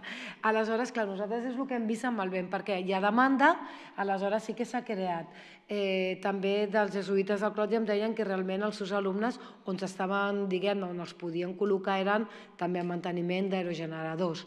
Però realment el perfil, el que sí hem vist amb les ofertes de feina que jo he anat buscant, una mica aquí ja ho, ja ho sabeu, és que realment hi ha molt poca feina, diguem-ne, que surti de tècnics de, eh, de cicles formatius a nivell de feines, no hi ha. És com un perfil que està totalment desconegut, o no existim. És la, la formació professional aquest, ja, ja té aquest problema, no solament amb aquest cicle, sinó amb altres, però és que no existim. Aleshores em deien els, el, el coordinador del segle, de segles de, de Medi Ambient de, dels jesuïtes que ells havia tingut que lluitar molt per vendre el perfil dels, dels professionals, vull dir, dels cicles de formació professional, com dir, existim, estem preparats per aquest tipus de feina, però les empreses no ens coneixen, no coneixen que existim, no tenen en compte. Clar, si tu veus aquest panorama, realment és bastant frustrant, entre cometes, i aleshores què passa? Que realment, eh, aquí no sé si l'he ficada, la davallada que hi ha, diguem-ne, del... No, no l'hauré ficat després, és que no hi ha massa, diguem-ne, matriculació amb els cicles formatius el que és energia i el que és a nivell industrial ha fet una gran davallada. perquè Si tu realment mires i veus la poca feina que hi ha, la meitat que, que es veuen indicades o el que veia, això és buscat l'altre dia, eh, el dilluns, diguem-ne, el que veus en el SOC és que quasi tots són places, diguem-ne, públiques, administracions públiques, i la major part el que es demana són enginyers. Clar, un tècnic professional de cicle superior et dirà jo ja no m'hi puc presentar perquè no m'estan demanant. I això crec que és un problema que tenim. Quins cicles tenim? Què és el que tenim? Què és el que oferim nosaltres? Que seria important. Aquí és que tenim? Tenim les famílies d'energia i aigua on tenim els de grau superior, que tenim el d'eficiència energètica i energia solar tèrmica i el d'energies renovables. El d'eficiència energètica estaria capacitat per certificar els edificis, però aquí és l'únic lloc en Europa on no ho poden fer-ho. Sé que això s'està treballant amb l'administració perquè a tota Europa sí que un, un tècnic de formació professional pot certificar els edificis, aquí no. Eh, aleshores, clar, és un cicle que al principi... És un... Tots aquests cicles són molt nous, eh? vull dir, porten molt poc de temps, són del 2008, alguns són del 2011, eh, aleshores, clar, s'estan fent. Què, els, què els hi passa? Va començar amb molta força, però si realment tu no pots fer la feina, o sigui, no, no et deixen fer la feina per la qual estàs qualificat, és una mica depriment. Sí que poden ajudar els tècnics, els enginyers poden estar en oficines tècniques, però realment no poden certificar. Energies renovables. A poc més jo crec que la gent moltes vegades no el coneixen, d'acord? Què és el que poden fer en energies renovables? Fotovoltaica, poden fer eòlica, poden estar fins i tot a un primer amb un manteniment bàsic de subestacions, per la qual és interessant aquest perfil per les empreses. Amb altres cicles, també tenim els d'aigua, d'acord? Que els d'aigua realment han aparegut per una necessitat. Tenim titulació pròpia aquí a Catalunya i després de la titulació d'aquí a Catalunya va sortir l'estatal. Eh, però això va ser per una demanda realment del sector d'aigua que ens ho va demanar, va demanar que, si us plau, eh, creéssim aquest cicle perquè necessitaven tècnics que es dediquessin. Realment això ha estat molt bé, surten ara les primeres promocions, veurem com va, però clar, en un principi la inserció serà alta. Per què? Perquè és una demanda del sector. Amb energies renovables no, tenim, no és que no tinguem demanda, jo crec que hi ha demanda de tècnics, però no ens arriba a les escoles. Amb altres cicles on nosaltres tenim algun tema d'aquest, per exemple, és en sistemes electrotècnics i automàtics, tant de grau superior com de grau mig, són, per dir-ho així fàcilment, som els que ens dediquem a les instal·lacions elèctriques i tenim el que és el mòdul de fotovoltaica. Però realment aquests mòduls de fotovoltaica són, són, són interessants, són els que abans que es parlava d'autoconsum són els que farien l'autoconsum dels edificis, però desgraciadament eh, els, els alumnes no hi veuen un interès, no hi veuen diguem-ne, la sortida per aquí. Van més cap a domòtica, més cap a realment electricitat. Per què? Perquè diuen això no té sortida. Entre els impostos, que ara gràcies a Déu ja no els tenim, i tot pues, no ha sortit.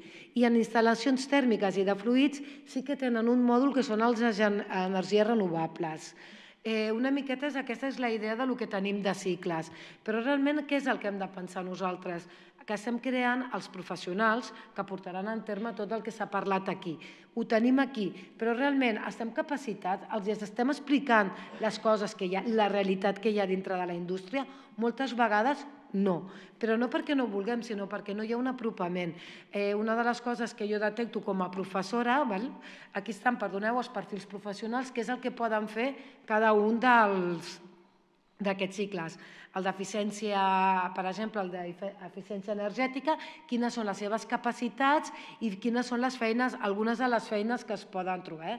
Això ho tenim per, pel currículum. El mateix tenim, diguem-ne, del, ups, del tècnic superior en energies renovables. Són els, més, els que s'assimilarien més aquí i són els que jo he tingut en compte. Però realment el problema que ens trobem amb ells, eh?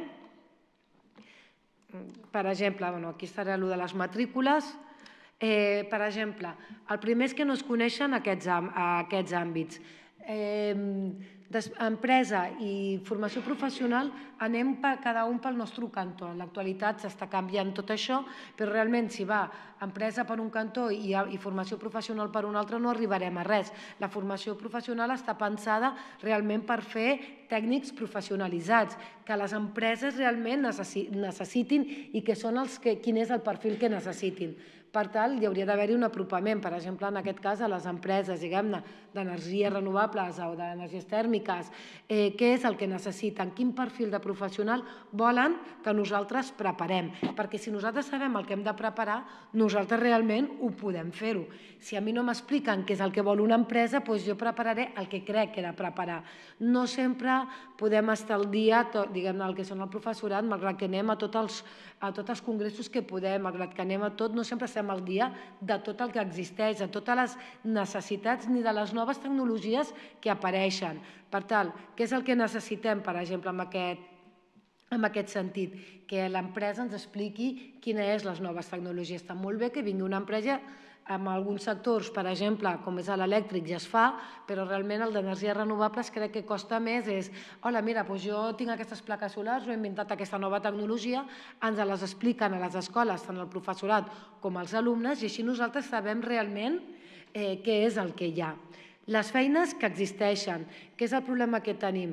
No sabem quines feines hi ha, perquè no sabem realment quina demanda tenim i quin tipus de professional volem. Si les empreses venen en els centres i ens diuen volem aquest tipus de tècnics, tenim aquesta oferta, nosaltres ho prepararem i realment tenim un ventall més ampli que oferir. També l'alumnat estudiarà, per exemple, medi ambient, si veu que hi ha una, una oferta real, que un cop hagin acabat aquests dos anys de cicles, eh, realment trobaran feina. Si realment veuen que no, no, jo és que estudiaré tot això i no em servirà de res, sincerament ens trobem que no l'estudien. I una altra de les coses, i més important que en l'actualitat sí que se li està donant, s'està potenciant, és la formació dual. La formació dual és que, una mica el que diem, la formació no depèn solament de l'empresa no, no depèn solament de, diguem-ne, del professorat, sinó que entre els dos formem amb un professional. Això vol dir que part dels mòduls els faran amb nosaltres a l'escola, el que és la part teoria, i una altra part, diguem-ne, de la formació la farà l'empresa. Quins avantatges té això realment? És que el tècnic veurà la realitat dintre de lo que és una empresa, i a més a més doncs, tindrà la formació doncs, més acadèmica que li podem donar en una escola. Però clar, si ell no entra en contacte amb, la, amb les empreses, no, pot, no trobarà, no arribarà mai a ser un professional que ens ajudi amb aquesta transició. I és un dels problemes, sobretot, que ens trobem. També a l'hora de fer pràctiques, moltes vegades, sé que és difícil agafar un alumnat en pràctiques, però és important poder-lo agafar. Per què? Amb el sentit de que aquest alumnat veu el que hi ha. Això també ens manté a nosaltres una mica amb, amb la idea de, de què és el que necessiten, perquè l'alumnat ens ho explica i nosaltres per següent cicle, per exemple, per següent curs, podem pensar, vale, doncs tinc aquesta idea, em pot ajudar amb l'empresa. L'empresa té moltes formes d'ajudar, diguem-ne, el que és a cicles formatius. Tant això amb les FPs, també tenim els, els programes que no sé si ho coneixeu, d'Innova FP, o sigui que si per exemple teniu vosaltres un, pro, un projecte que no el porteu a terme, el podeu donar amb un, amb un cicle formatiu que faci energies renovables i ell us el portarà a terme i d'una forma doncs, bastant més econòmica que no pas si ho fem d'altra forma. Llavors, tot això ens ajudaria a nosaltres a juntar una mica i a veure per què? Pues perquè nosaltres estem creant els, els professionals que hauran de viure la transició energètica, que hauran, ser, que hauran de ser els agents que la portaran a terme. I a vegades em pregunto si realment nosaltres l'estem fent correctament, els estem fent veure com serà o si realment estem prou formats nosaltres també. A vegades també seria tan fàcil com que les empreses ens passessin una mica de material i ens diguessin ei, bones pràctiques, que és el que necessitem perquè en aquest moment doncs això, i llavors si nosaltres tinguéssim tota aquesta informació ens, ens ajudaria a preparar més. Això és a nivell de cicles formatius, eh, el que ens trobem. I aquí l'últim el que us he ficat són els diferents instituts que realment donen la formació, diguem-ne, de medi ambient i d'eficiència energètica. A més, doncs, per exemple, si algú necessita, el que val. Després tenim tot el que és instal·lacions elèctriques, que hi ha altres diferents, però que simplement tenim diferents mòduls ja pues, te dejo paso a ti. Molt bé.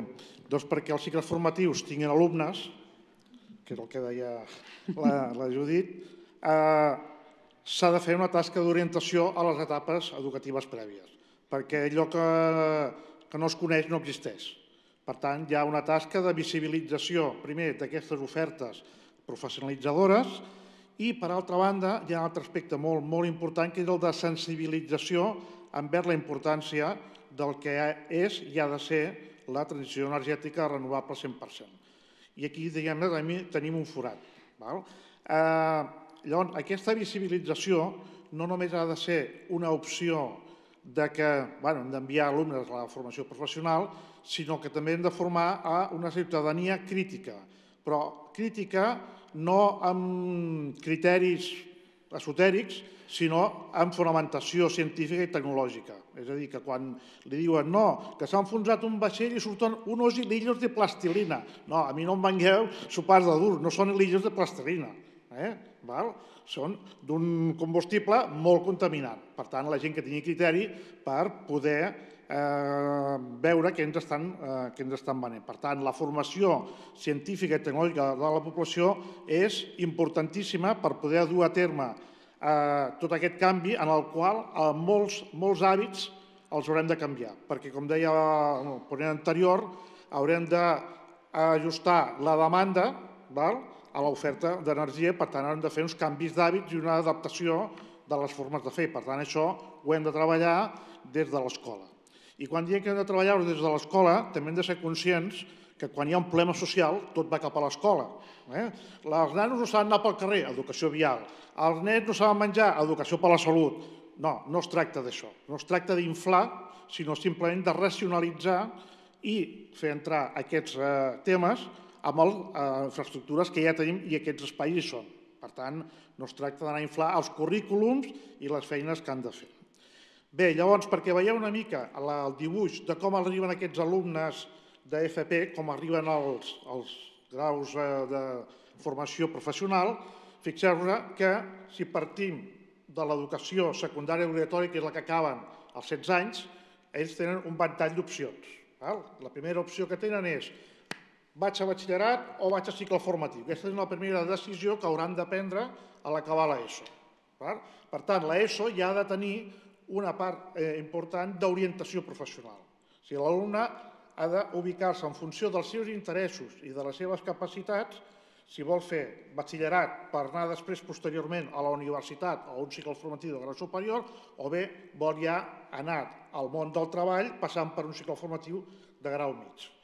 Clar, cicle formatiu de grau mitjà i de grau superior, fixeu que hi ha una diferència molt important, no només de durada, sinó que els de grau superior han passat pel batxillerat. Per tant, les competències professionals que adquiriran en el grau superior o en el de grau mitjà són molt diferents. Eh? Llavors, el de grau mitjà seria més aviat pensant eh, en l'operari que, és, que sota les ordres d'un encarregat és capaç d'executar determinades feines seguint les normatives que hi ha en el sector. I en canvi el de grau superior ja és capaç de dirigir un equip, de prendre decisions tècniques i fins i tot d'arribar a fer eh, o intervenir amb, amb els enginyers, doncs, fer els dissenys corresponents. Eh, L'accés directe, que hem dit, eh, o l'accés més que directe natural, seria aquest, amb unes formacions prèvies. Per tant, fixeu-vos que el coll d'ampolla el tenim a l'educació secundària obligatòria, que és la que ha d'obrir amb els nanos els ulls de que aquestes opcions hi són. Quan diem nanos també volem dir nenes, eh? que a vegades eh, eh, amb això ens perdem. Eh? Això va adreçat i tècniques, tècnics, tècniques, enginyers, enginyeres. Val? A l'ESO i al batxillerat. Són els llocs on eh, és molt important que hi hagi doncs, aquesta actuació. Però clar, si ens mirem l'actuació en aquests nivells, a l'ESO i al batxillerat, quines són les matèries que poden donar visibilitat i poden donar formació en l'àmbit de l'energia.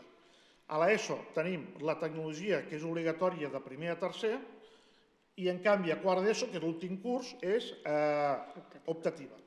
I si anem al batxillerat, hi ha bàsicament tres matèries que poden donar diguem aquest, eh, aquests continguts. Tecnologia industrial i electrotècnia, que serien del batxillerat que s'anomena o modalitat científica, i una altra matèria que és Ciències de la Terra i del Medi Ambient, que seria de la modalitat més aviat científica. Per tant, diguem-ne, aquest seria el panorama de les matèries que poden donar amb els alumnes aquest coneixement científic, tecnològic i eh, els poden eh, il·lusionar una mica per, per aquest tipus de, de professions. Però a la que mirem una mica, gratem una mica, eh, la transició energètica renovables es tracta del batxillerat a l'ESO? No, ni paraula, ni paraula. Tant es posa al mateix nivell una central nuclear que una planta fotovoltaica. S'explica la tecnologia i punt. Per tant, no hi ha eh, un anàlisi crític ni de futur. I a més a més, eh, per currículum es comença a estudiar primer les eh, centrals tradicionals i s'acaba fent, si és que dona temps, les renovables. Val? O sigui que aquí això ho tenim capgirat del tot. Vale? Llavors, per, per sort, en el sistema hi ha professorat doncs, que està format, que està conscienciat i que és capaç d'això de donar-li la volta. Però el sistema en si això ho té, ho té malament. A on sí que hi ha referències? Doncs quan parlem d'estalvi i eficiència energètica. Això sí que hi ha referències. Però la transició energètica, ni paraula. Val?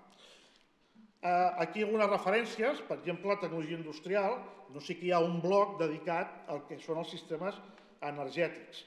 I aquí, doncs, eh, aquí, per exemple, la, el, el, el sistema energètic, el segon diu, caracterització de l'obtenció de generació i transformació dels principals fonts d'energia, totes. Enumeració de les centrals productores d'energia i apreciació de l'impacte mediambiental. Clar, això queda no, no, això no té futur, vull dir, no estem mirant al passat. Per tant, els currículums, val? tant de batxillerat com de l'ESO, que era el que ve a continuació, en aquest sentit no recullen eh, la sensibilitat que tenim en aquest moment envers aquest tema. I això eh, ho ha de canviar, en principi, ho han de canviar els professors i professores que estan a les aules. Perquè si esperem que vingui un canvi normatiu de currículums des del Departament d'Educació o des del Ministeri, va per llarg. Això no vol dir que això s'hagi d'abandonar i s'hagi de fer pressió en els responsables educatius perquè prenguin consciència que aquesta situació s'ha de revertir i això s'ha d'incorporar. No s'ha d'incrementar horari, no s'ha d'incrementar pressió en el currículum, simplement s'han d'incorporar aquests conceptes i activitats que facin que els alumnes entenguin això. Un altre aspecte que també hem de tenir present, la manca de recursos didàctics per poder treballar això.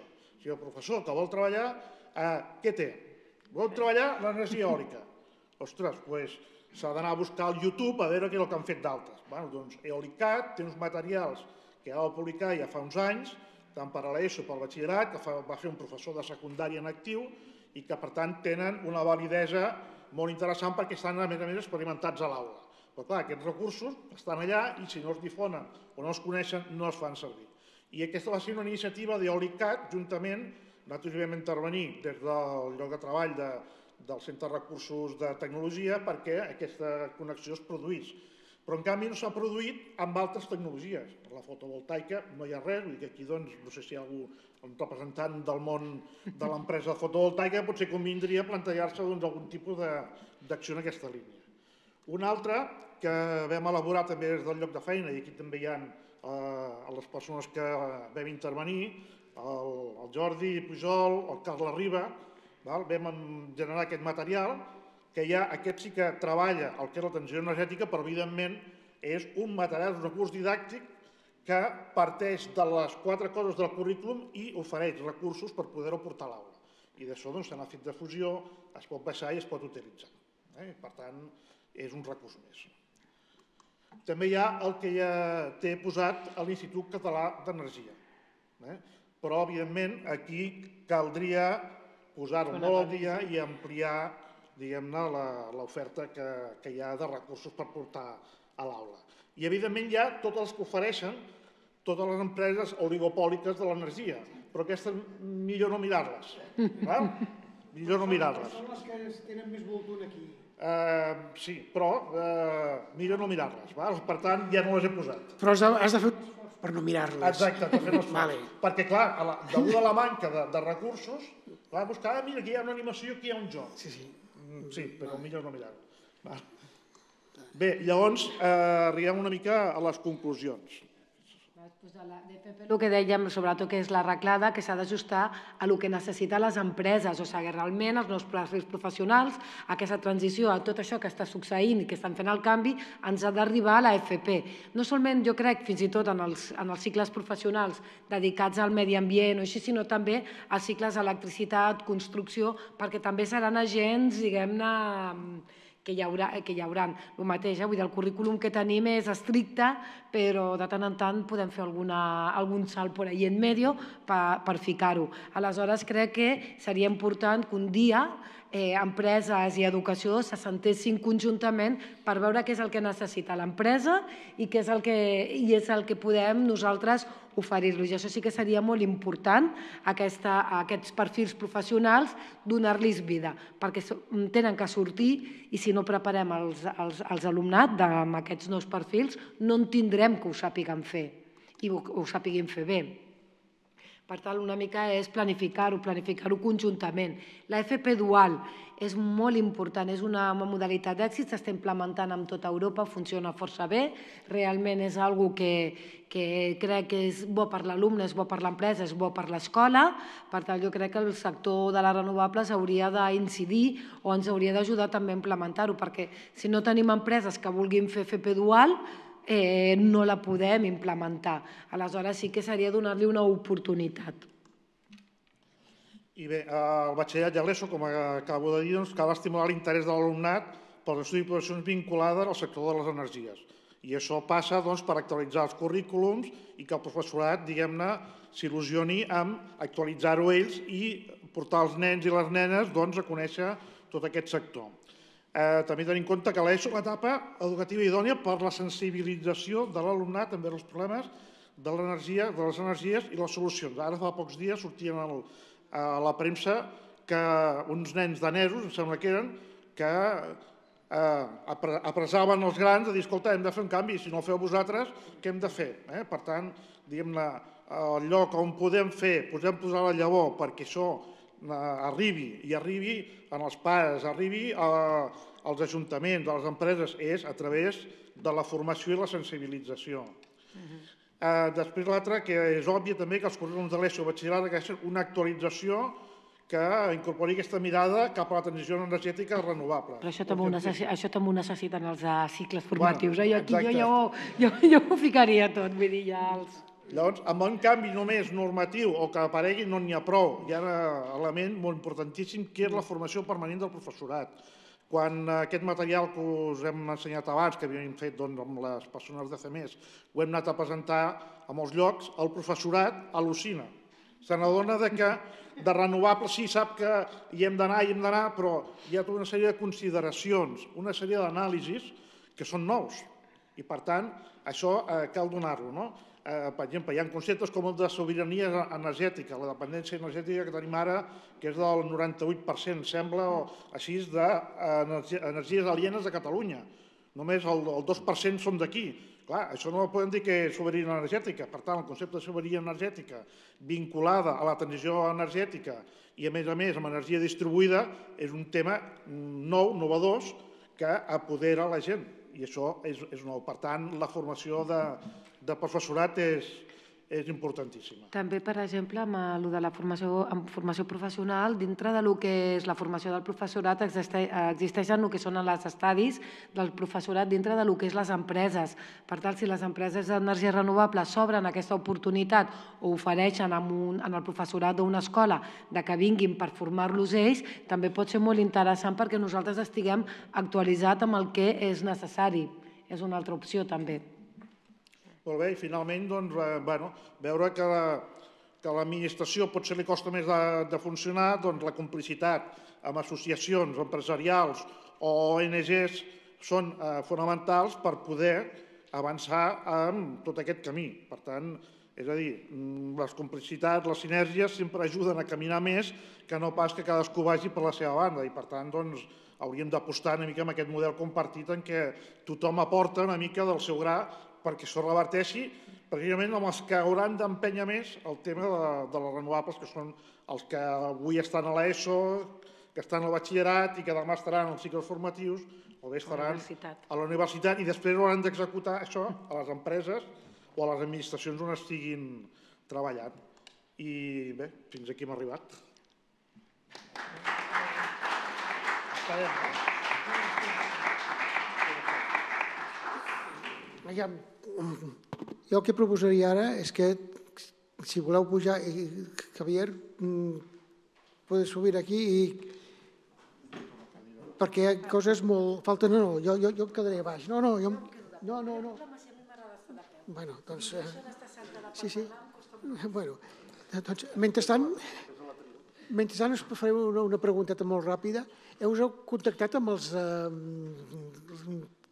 amb les agrupacions eh, d'empresa, de, o sigui, d'eòlica, de, de fotovoltaica, de tots els clústers, eh, els heu... A veure, això suposo que... Perquè, clar, arribant als clústers, aquests poden repartir-ho entre totes les seves empreses, no? Normalment, això les escoles, diguem-ne, amb els instituts de formació professional que sí. jo he parlat, sí. ells sí que, per exemple, la major part, per exemple, l'Institut Pere Martell, ha contactat amb els ha contactat amb els eòliques i per això s'ha creat un mòdul específic d'aerogeneradors. Perquè la... No, exacte, exacte, però el tema fotovoltaica... En fotovoltaica realment és un tema que està bastant... El que passa que és més, més complicat. Realment aquest crec és que és el que s'hauria de I el de biomassa, vull dir que hi ha uns eficiència energètica, vull dir, perquè el clúster eh, no les agafa totes, però agafa unes quantes, no? Per això, però això, eh, això bueno, suposo que és sí, una mica el que falta en aquests mateixos moments, sí, sí. és establir el pont amb totes aquestes associacions sí, sí. i els diferents cicles formatius tant els de renovables o inclús els d'electricitat, vull dir, que fem fotovoltaica, és establir el pont per arribar ah, a sí, sí. això. S'ha fet? Sí, a vegades s'intenta alguna cosa, però a vegades hi ha la dificultat. També pensem que els professors també estem a classe sí, sí, no, i després hem de fer aquesta feina extra, sí, sí, sí. amb la qual a vegades ens costa una sí, sí, mica. Sí, sí, sí. Però bueno, necessitem Un aquest pont. Javier, tu no sigues eh, el català en sí, no? No, no, no, no. no. no. Que, eh, no solamente os sigo, sino que Eh, perdonar que, que, lo diga, pero en mi página web hay un informe sobre este tema. No, no, no digo por, por catalán si te... Lo, no, lo sigo, vale, lo sigo. No, pues, yo creo que esta, sí, esta sí. última ponencia que habéis hecho seguramente lo más grave. que de, de, yo, yo, os puedo contar todas las historias que os cuente, pero si no hay técnicos medios para instalar una instalación de alto consumo, la, la, la alcaldesa lo sabe perfectamente, eh, eh, no hay nada que hacer. Y, y a, en el estudio que yo hice, que se titula, lo podéis ver en mi página web, es un resumen, ¿eh? lo hicimos para el Gobierno de Navarra sobre nuevos perfiles profesionales de la, para la FP de la transición energética. Sí. Entonces nos dimos cuenta que eh, hay, así como en en titulaciones superiores, eh, eh, universidades politécnicas y tal, hay... Mm, eh, sí, pero hay. En, formación profesional no hay nada. O sea, esto que, este, este mapa que habéis dibujado vosotros se da en todas las comunidades autónomas y además con una gravedad uh, acuciante. Es decir, podemos tener unas leyes muy buenas y una transposición de las directivas muy buena, pero en este momento no tenemos la mano, digamos, los técnicos medios, ¿eh? los técnicos medios. Eh, y, y, eso es un problema muy serio porque eh, gente que haga grandes parques eólicos y fotovoltaicos las hay. Ahora, gente que vaya a poner una instalación de autoconsumo en la vivienda o una instalación, una pequeña instalación de, de yo qué sé, de, con almacenamiento en un colegio, eso es más complicado. Y ahí sí que la transición energética naufraga totalmente. Pero bueno, no, naufraga en sí la formación profesional, o sea, no te diré solo de ellos, sino que somos un perfil profesional que está poco, está, tiene muy poco valor, no está valorizado y entonces afecta en todos los campos energéticos. Por eso también es importante que nos dejen a veces presentarlo como ha hecho Kim para ayudar a que realmente seamos conscientes de que las empresas los, los necesitan.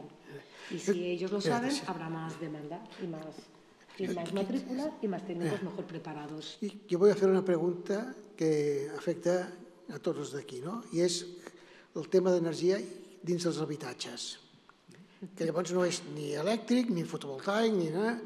Eh, els fums de les, de les calderes, els fums de, eh, d'altres en aquí, els dels vehicles, eh, és la salut, és el, els edificios, com has comentat antes, i és la vostra formació i amb com el tema aquest de la salut, de les renovables i dintre els edificis, com, com ho podeu tractar? Molt senzillet, això, eh? De... No t'he entendido.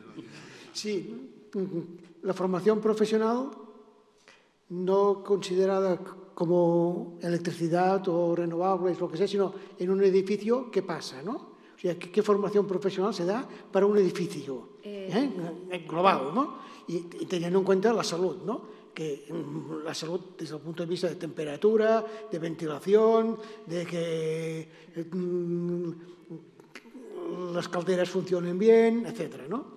En la parte de lo que es la parte de electricidad tenemos el módulo de fotovoltaica que es dos horitas a la semana, digamos, no es mucho, en donde se explica cómo, es el, cómo se puede dar el autoconsumo en un edificio, o sea, cómo, cómo proveer de energía solar o de energía solar eh, eh, el autoedificio, pero bueno, es, es mínimo, es como una, sí, pero, digamos que es un apunte, sí, pero, no se le da la importancia vale. que yo creo que se le tiene sí, que dar, es un apunte que está allí. Bueno, por, por, por ejemplo, uh, solar térmica, no, no, no, no, ya, ya, uh, y en muchos casos no funcionan porque la gente no se entera si, si, si va o no va.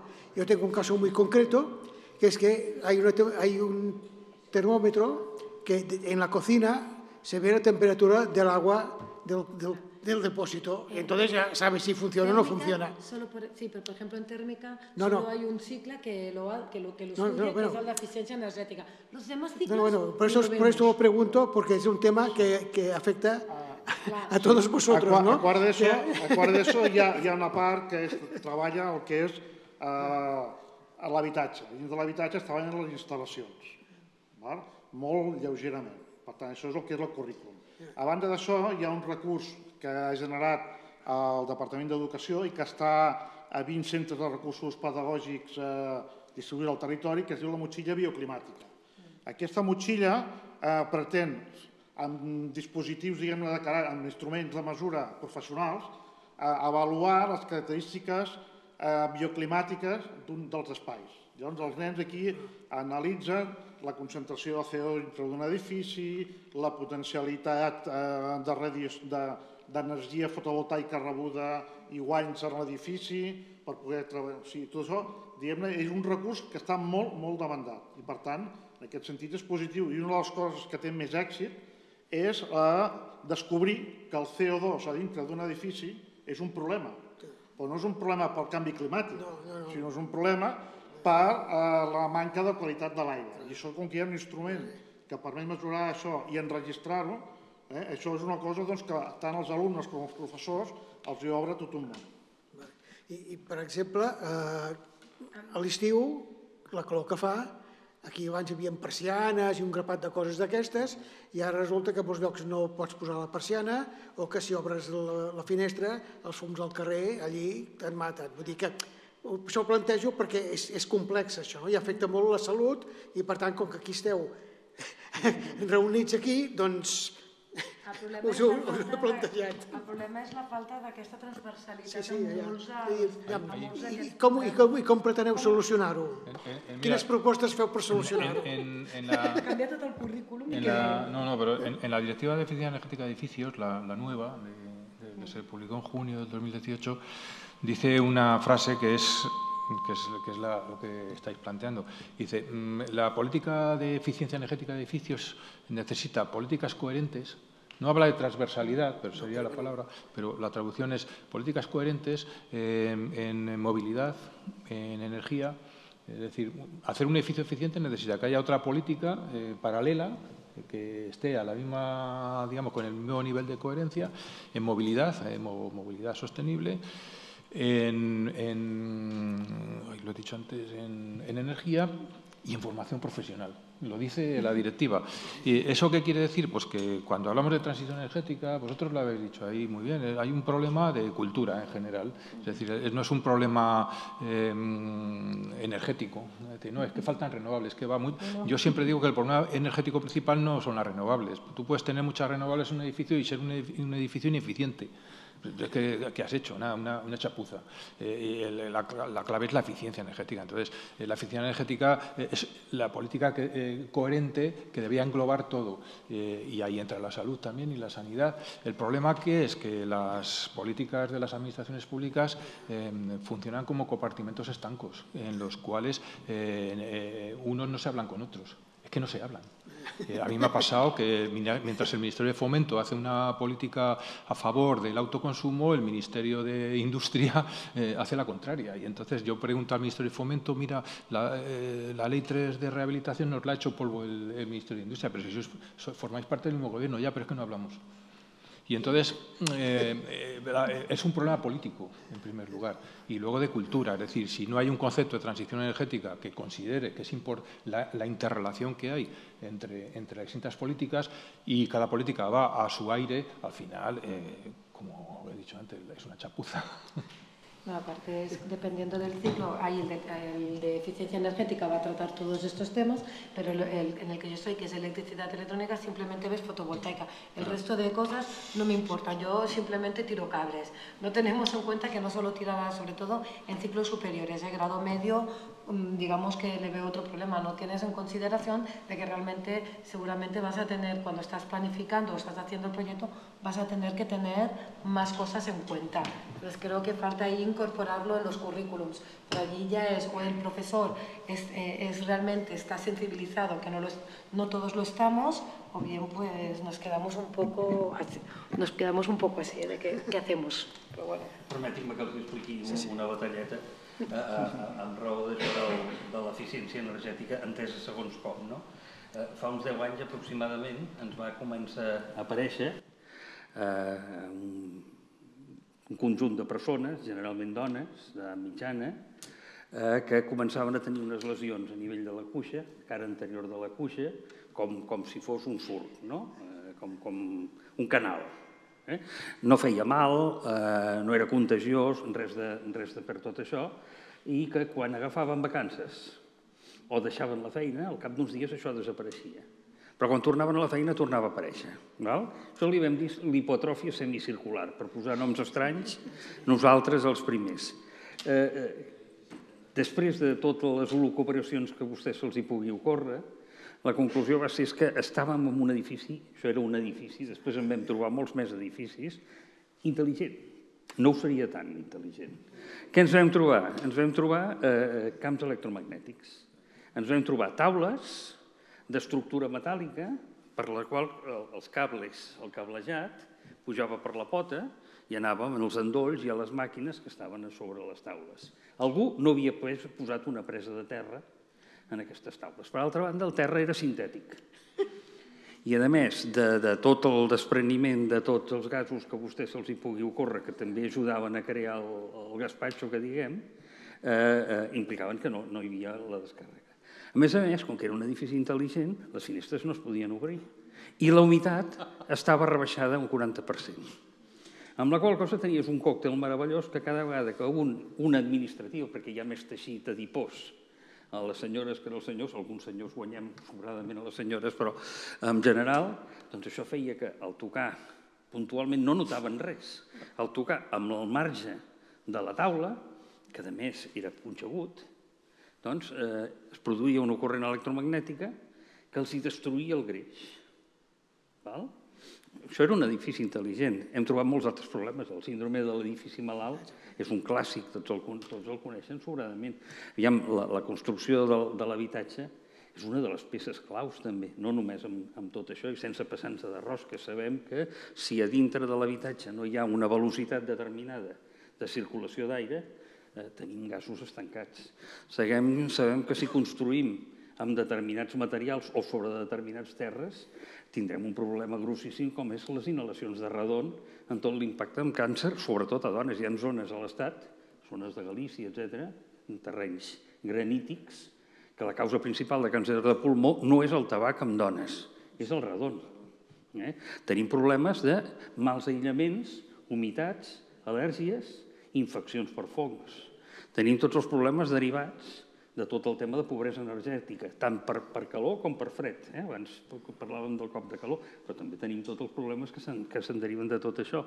Eh, tenim els problemes de molt superats, calefaccions, en les quals s'utilitza carbó, ara cada vegada menys, però altre tipus de combustibles. Eh, el, a la zona d'Osona, eh, una zona que ja la coneixen climàticament tal com és, hi ha granges de porcs, etc i s'utilitzen unes, unes calefaccions industrials, diguem-ne així, tipus caldera, el qual doncs, utilitzen pellets, no? eh, aquell combustible de fusta. Bé, no tot és eh, combustible de qualitat, utilitzen de vegades fragments de mobles que estan envernissats, que desprenen dioxina i que desprenen gran quantitat de, de partícules. Se'ns està incrementant el percentatge de, de partícules a l'ambient d'Osona. El problema de contaminació atmosfèrica a Osona ja no només és l'ozó procedent coincidència, Osó, Osona, procedent de, procedent de, de Barcelona, que, que, que acaba patant allà, sinó que les partícules són un altre problema importantíssim,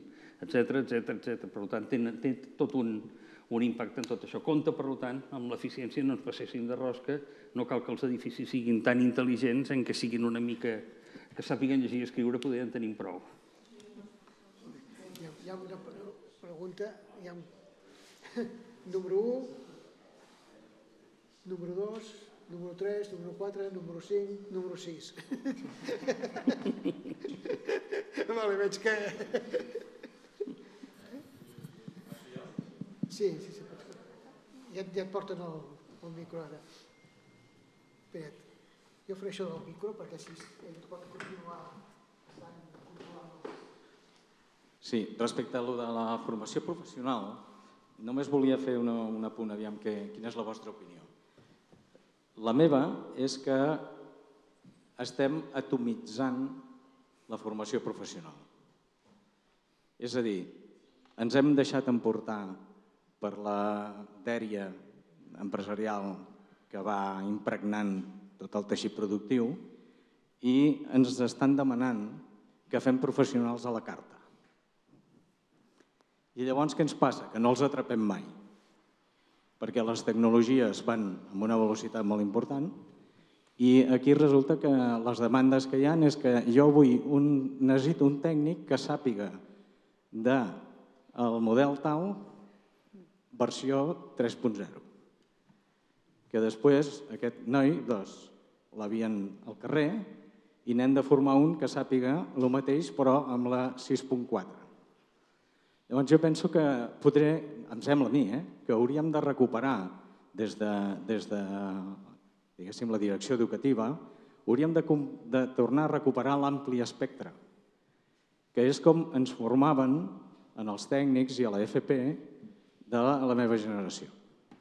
És a dir, ens formàvem amb un ampli espectre que per, ens permetia tindre coneixements de tot i en l'empresa ens especialitzàvem. Això era molt més fàcil de poder trobar versatilitat en el, en el món, diguéssim, laboral. Eh, no, justament jo crec que la dual ens pot anar bé en aquest sentit. Primerament, perquè la, a, el que és a la- a l'escola, tu el que veuràs és la, la generalització.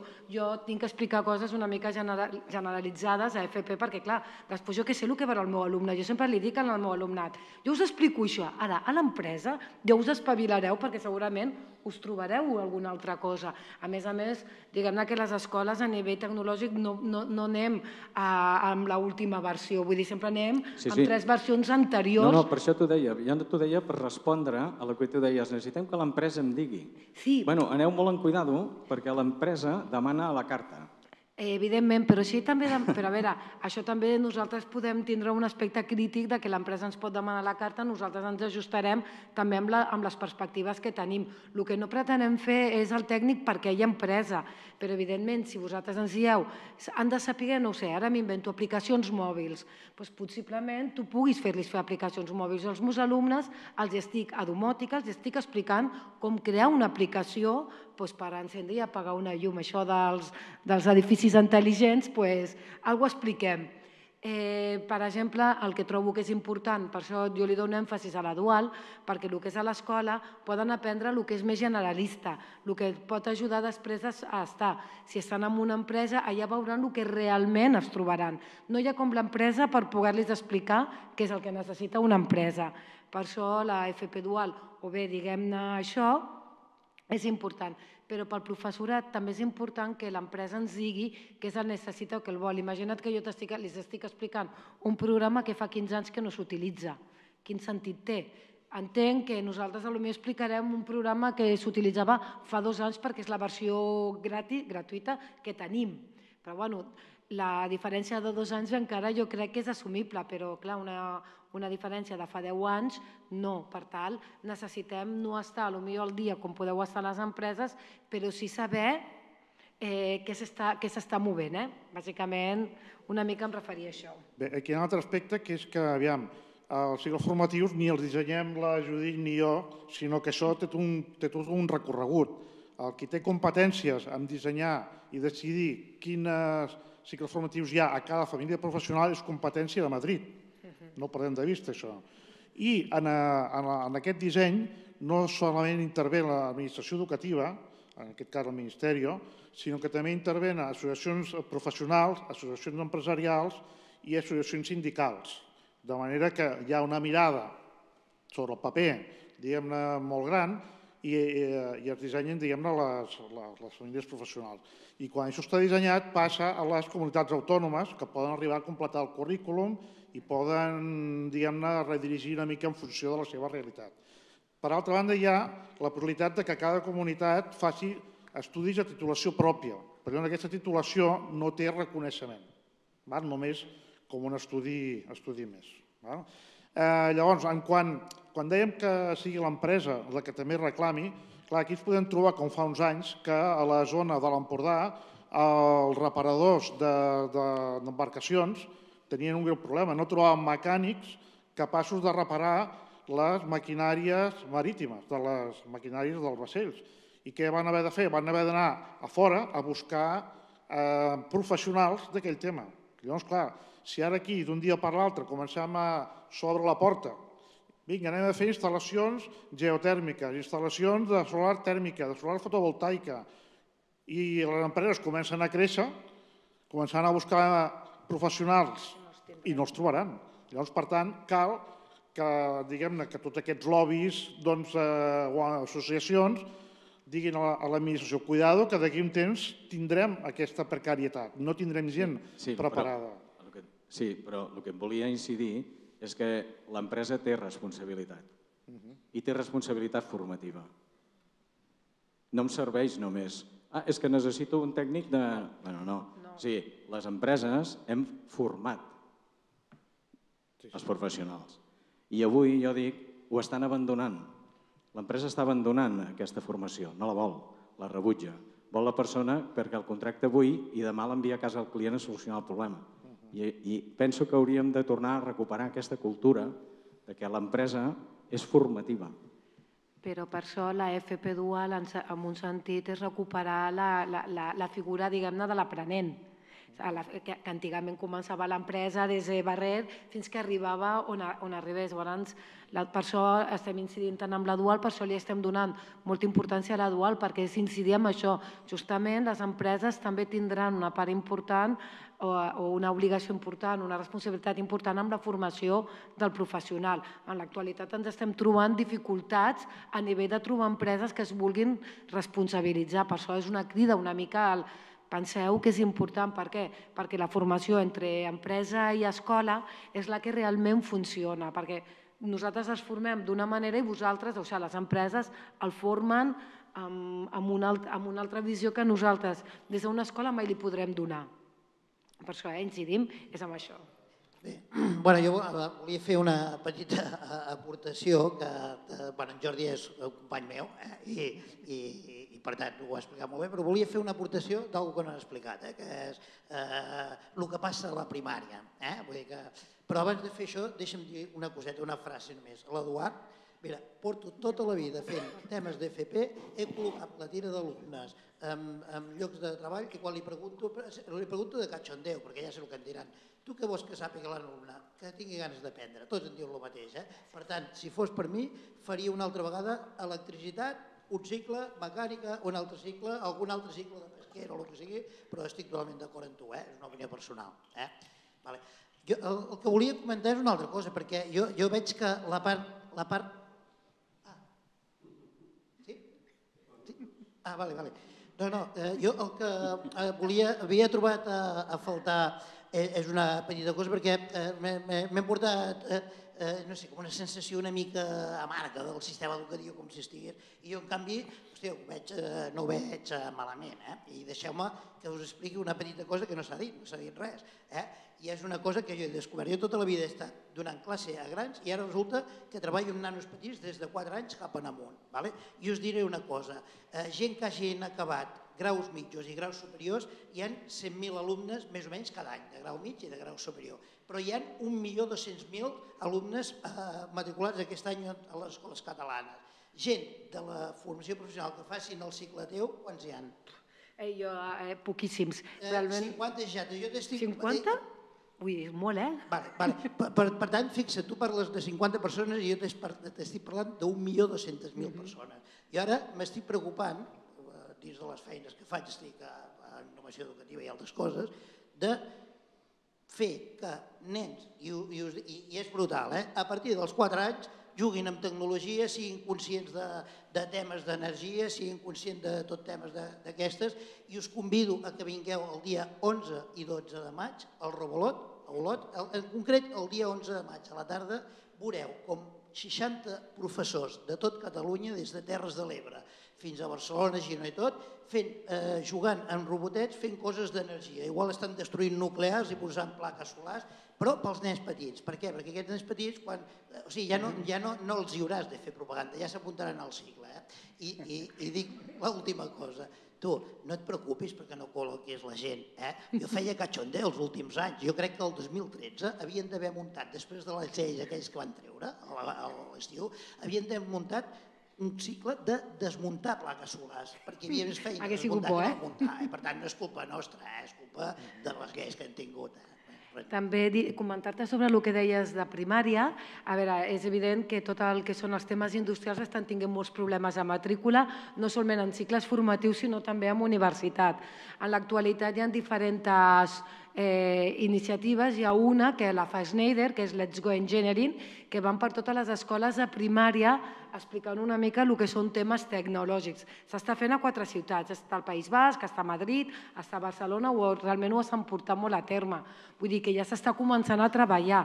Los, els fruits suposo que els veurem d'aquí 5, 6, 7, 8 anys, però vull dir, hi ha diferents iniciatives des de primària, però ja amb, amb enginyeria general, eh? vull dir, però a poc a poc. Suposo que no, no es pot demanar tot de, de bones a primeres. Hola, bona tarda. Jo precisament ahir, en la sessió d'ahir a la tarda, vaig comentar que bueno, van explicar tot el projecte de transició energètica a Catalunya, renovables, eòlica, fotovoltaica, i precisament vaig al·ludir això, de que teníem una mancança de gent preparada per aquests propers anys, 10 anys de transició vital de grau, de grau mig, formació de grau mig. No? I, i bueno, potser me vaig avançar una mica en la, en la jornada, però sí que eh, és important, i en la línia del que aquest senyor ha comentat ara, que hem de fer atractiu tot això. Atractiu perquè és una necessitat vital de país. O sigui, és, és una prioritat de país formar gent que es faci la transformació, que es faci viable aquesta transformació, perquè és crítica econòmicament, socialment, absolutament. I ho hem de fer des de ben petits, des de ben petits, i fer-lo atractiu, perquè jo, jo precisament he estat 20 anys a Schneider, eh? has fet un comentari, però bueno, ara ja fa 9 anys que estic fora de l'empresa i soc consultor, i treballo cada dia en, en empreses instal·ladores petites, i el problema, el problema de tot plegat, primer, tenim crisi vocacional, uh -huh. perquè falta posar-li atractiu a tot això des de la infantesa. Jo també he escrit articles de, en aquest sentit. I vist també, no sé si tu vas participar en La Vanguardia en una entrevista, Ah? Potser tu vas participar en l'entrevista en una entrevista a La Vanguardia fa poc, un article, on, de... que parlava, parlava de que, de que d'alguna forma la FP tenia poc atractiu en general, eh? ja no sí. només la FP tenia poc atractiu, que era una necessitat i que precisament donava molt més grau d'empleabilitat que qualsevol altre tipus de formació. Sí, bueno, no, no he participat en els articles de classe, però, però sí que ho segueixo sí. perquè és algo amb el que jo estic lluitant i és intentar afavorir que es vegi l'FP justament perquè no hi ha molta, diguem-ne, no, hi ha, no, no hi ha molta matriculació amb el que és els, amb els cicles industrials, eh, hi ha molt amb el de. Vull dir, o sigui, que al final... Exacte. Doncs, i, I Masterchef, no? Exacte. Ah, sí, l'efecte Masterchef. Que potser jo... ja toca que facin algun programa de televisió una jo mica per tècnics. de fer un reality show de construir tu casa això. i podem fer eh, amb eficiència energètica a veure si així animem sí. en els alumnes. Ara tots volen ser cuiners, tu. Sí. Estem... No, no, la moda, sí. Però, però, però realment jo estic en contacte amb molts centres, de, sobretot en la comunitat valenciana. Tot i que sóc d'aquí, treballo molt a la comunitat valenciana, i tinc contacte amb més de 20 centres i també ells et troben en què els falta massa crítica, o sigui, per fer certes especialitats fins i tot han de tancar mhm. eh, especialitats tècniques i obrir especialitats de cuina. Eh? De fet, estem tancant eh, moltes I... especialitats de cicles formatius d'industrials. Tot el que és tema d'electrònica, telecomunicacions, s'han anat tancant ja per tots els centres. Dir, van, són cicles que es van traient justament per la falta de, la falta de demanda. Pues, Però és, Pues fíjate, bueno, eh, voy a seguir en castellano porque precisamente aludiendo a lo que decía Javier García Breva, dentro de lo que es la demanda activa, la conectividad y las telecomunicaciones es algo crítico. Ya el IoT, el IoT, o sea, estamos hablando de energía renovable, estamos hablando de eficiencia energética, pero es que todo esto va a ser smart. Mm. Y ahí tenemos una crisis todavía mayor. Y ahí no solamente es un problema de preparar a la gente que viene, sino a la que está. Mm. ¿Eh? O sea, no, no, me quiero alargar más porque si no... No, esto no tocaba en, mi, en mi intervención, pero en la Directiva de Eficiencia Energética de Edificios, el edificio que, eh, de consumo nulo y el edificio que se define en, la nueva Directiva de Edificios es el edificio conectado.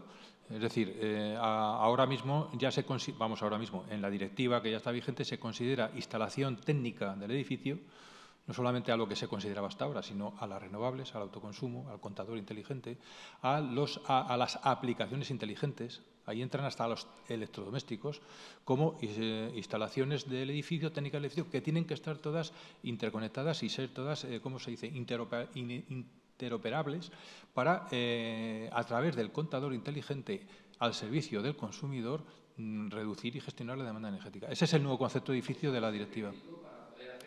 Claro. ¿Qué, ocurre? Claro, para participar, para que... Sí. ¿Qué ocurre? Que esto cuenta solo tú un arquitecto el problema ahora mismo, eh, cuando tú le planteas esto a un arquitecto, oiga, mi cliente no me pide eso, así, mientras no me lo pida yo no lo hago, eso es lo que me han dicho a mí. Y claro, ¿cuál es el problema? Que hay que empezar a crear demanda, o sea, que el consumidor sea el que, oiga, o me haces esto o, no te... Y si no el consumidor, el ayuntamiento, oye, yo te doy licencia a condición de que tú me hagas esto, etcétera, etcétera, etcétera. Y, ese edificio no es el concepto de, has dicho, edificio inteligente, ¿no? Eh, no es el concepto no es el concepto de edificio inteligente, yo prefiero llamarlo del edificio autosuficiente. Es decir, un edificio que auto, se autoabastece y autosatisface sus propias necesidades energéticas a través de las tecnologías inteligentes. Y luego, aparte, estamos hablando de edificios y tal, pero hablamos de, de la industria. Podríamos hablar de la industria. Ahí ya no te digo ya. Queremos relocalizar la industria porque entendemos que una industria productiva ahora bien automatizada puede competir con la productividad de China, con temas de países de mano de obra barata y tal, porque tenemos que ir por ahí, pues no nos queda nada. Ya, pero aquí, mira, yo te repito una cosa que he dicho antes, eh, aquí hay dos sectores que van a ser la, pera, eh, son ya, y desgraciadamente eh, no figuramos en ninguno de los dos, y ni siquiera la Unión Europea, que es la fabricación de baterías, y las redes de infraestructuras de recarga de vehículos eléctricos. Yo mm, llevo diciendo esto desde que, vamos, desde hace, yo me acuerdo aquí cuando vine hace dos años o tres años al ICAEN, ya lo dije, eh, el tema de las baterías es fundamental, el que el, país que lidere la fabricación de baterías liderará el mundo, en este momento China, eh, Estados Unidos eh, está casi a la par, Alemania quiere intentar algo, Alemania y Francia han firmado un acuerdo para intentar fabricar baterías en Europa, pero China está conquistando Europa en el tema de las baterías de una manera brutal. Y yo creo que todo lo que se retrase eh, en este momento, la, independencia energética eh, con respecto al almacenamiento y a las infraestructuras de recarga son pérdida de oportunidades que estamos teniendo de una manera alucinante. Y yo me asombra que nadie hable de esto. Sí, y, acabo. Eh, solamente otra, una cosa que sobre la dual. Eh, mi experiencia también con empresas, yo trabajo con muchas micropymes, la mayor parte de empresas de nuestro sector son micropymes. Nuestro sector, el sector energético está tremendamente atomizado, sobre todo la, parte eléctrica. ¿eh? Entonces, ¿qué pasa? Que la dual es un modelo cogido de Alemania, donde la realidad de Alemania no tiene nada que ver con la nuestra, a nivel de composición de pymes y tal. Una pyme en Alemania es una señora pyme. Aquí tenemos micropymes por todos lados y gente pues que, como se apuntaba por aquí, que cogen a, un alumno y quieren, eh, en la dual, y quieren ya sacarle productividad desde el minuto uno. Y no es eso. La dual es una inversión. Sí, es una y en Alemania incluso es que contratan, le hacen un contrato laboral antes de, de, O sea, primero le hacen el contrato y luego lo forman. O sea que más claro, agua, ¿no? Aquí culturalmente no estamos preparados todavía para el modelo. Y las empresas, esto lo tienen que aprender también las empresas. Evidentemente, a ver, en el, tema puntual yo estuve viendo cómo funciona en Alemania, no tiene nada que ver aquí, realmente es, impactante, ¿eh? pero bueno, eh, ellos tienen un sistema, ellos hace muchos más años que lo tienen implementado. Nosotros de momento estamos empezando a concienciar a las empresas. Desde nuestro punto de vista, desde nuestro instituto lo vamos vendiendo. Hay empresas que ya trabajan con varios institutos, con lo cual ya saben más o menos cómo va la dual y ya saben qué tipología de alumno les vas a enviar, que, que son que, que no saben teóricamente, pero bueno, aún hay mucho que aprender la, regulación la tienen que, está muy enconcertada, o sea, tienen que eh, reestructurarla porque... Pero, por ejemplo, en Alemania la Cámara de Comercio está, está puesto en medio de la dual, es quien hace los exámenes, está, aquí no. Aquí lo hacemos, nos, lo, nos piden que hagamos dual, pero el centro, espabilate como puedas a implementar la dual. Pero bueno, supongo que todo es empezar, ir regulando, ir viendo, enseñando a las empresas, formando las empresas y formándonos nosotros también para encontrar eh, la, dual correcta para, para aquí, para nuestras, nuestras empresas. Bueno, de todas maneras, yo creo que hay eh, situaciones de éxito que avalan que la dual realmente es una respuesta correcta ante esta situación. Yo concretamente conozco un caso que es el tema del textil. En Tarrasa, que yo soy de Tarrasa, aquí también hay gente de Tarrasa que lo pueden corroborar, en formación profesional eh, había sido un, desastre porque había ido perdiendo alumnado hasta que cerraron la especialidad. Pero en cambio las empresas, aunque habían entrado en crisis, seguían necesitando personal formado y tenían un hueco ahí. Eh, entonces, con la renovación de los ciclos formativos se generó este, esta especialidad de nuevo en la modalidad de dual. Y el caso está en que los alumnos eh, se emplean al 100% todos los que realizan este ciclo. Y las empresas contentas porque realmente pueden tener allí formando a, futuros trabajadores que ellos tendrán allí. Y por parte del instituto, digamos, la respuesta es muy buena porque es una sinergia que les facilita el poder disponer de perfiles más adaptados al tipo de empresa que hay hoy día en el textil en Terrassa. Por tanto, la, la dual, en algunos casos, creo que da una respuesta muy buena. pero hay las pequeñas empresas son las que se tienen que preparar porque son, son las que realmente a lo mejor son dos o tres personas y no, aún no lo tienen el concepto, pero todo llegará. ¿eh? Claro, sí. Casos de éxito como estos necesitamos más. Es lo único. Yo quisiera hacer una, una pregunta, comentario a Javier García Breva. Eh, en primer lugar, eh, felicitarte y agradecerte mucho que hayas venido. La charla ha sido interesantísima. Gestión de la demanda y energía flexible. Estás dando con las palabras clave. Yo contigo, si me permite, ya que somos pocos, tengo un pequeño problema y es que es aquel que dice, ese tío siempre lo dice bien y lo dice muy bien y, lo cuenta muy bien. y siempre estoy de acuerdo contigo. Eh, os animo a que os suscribáis a su newsletter, que no es nada pesada, una cada 15 días creo que es, ¿eh? y, y, te va poniendo al día de todas las cosas. Por lo tanto, gracias y felicidades.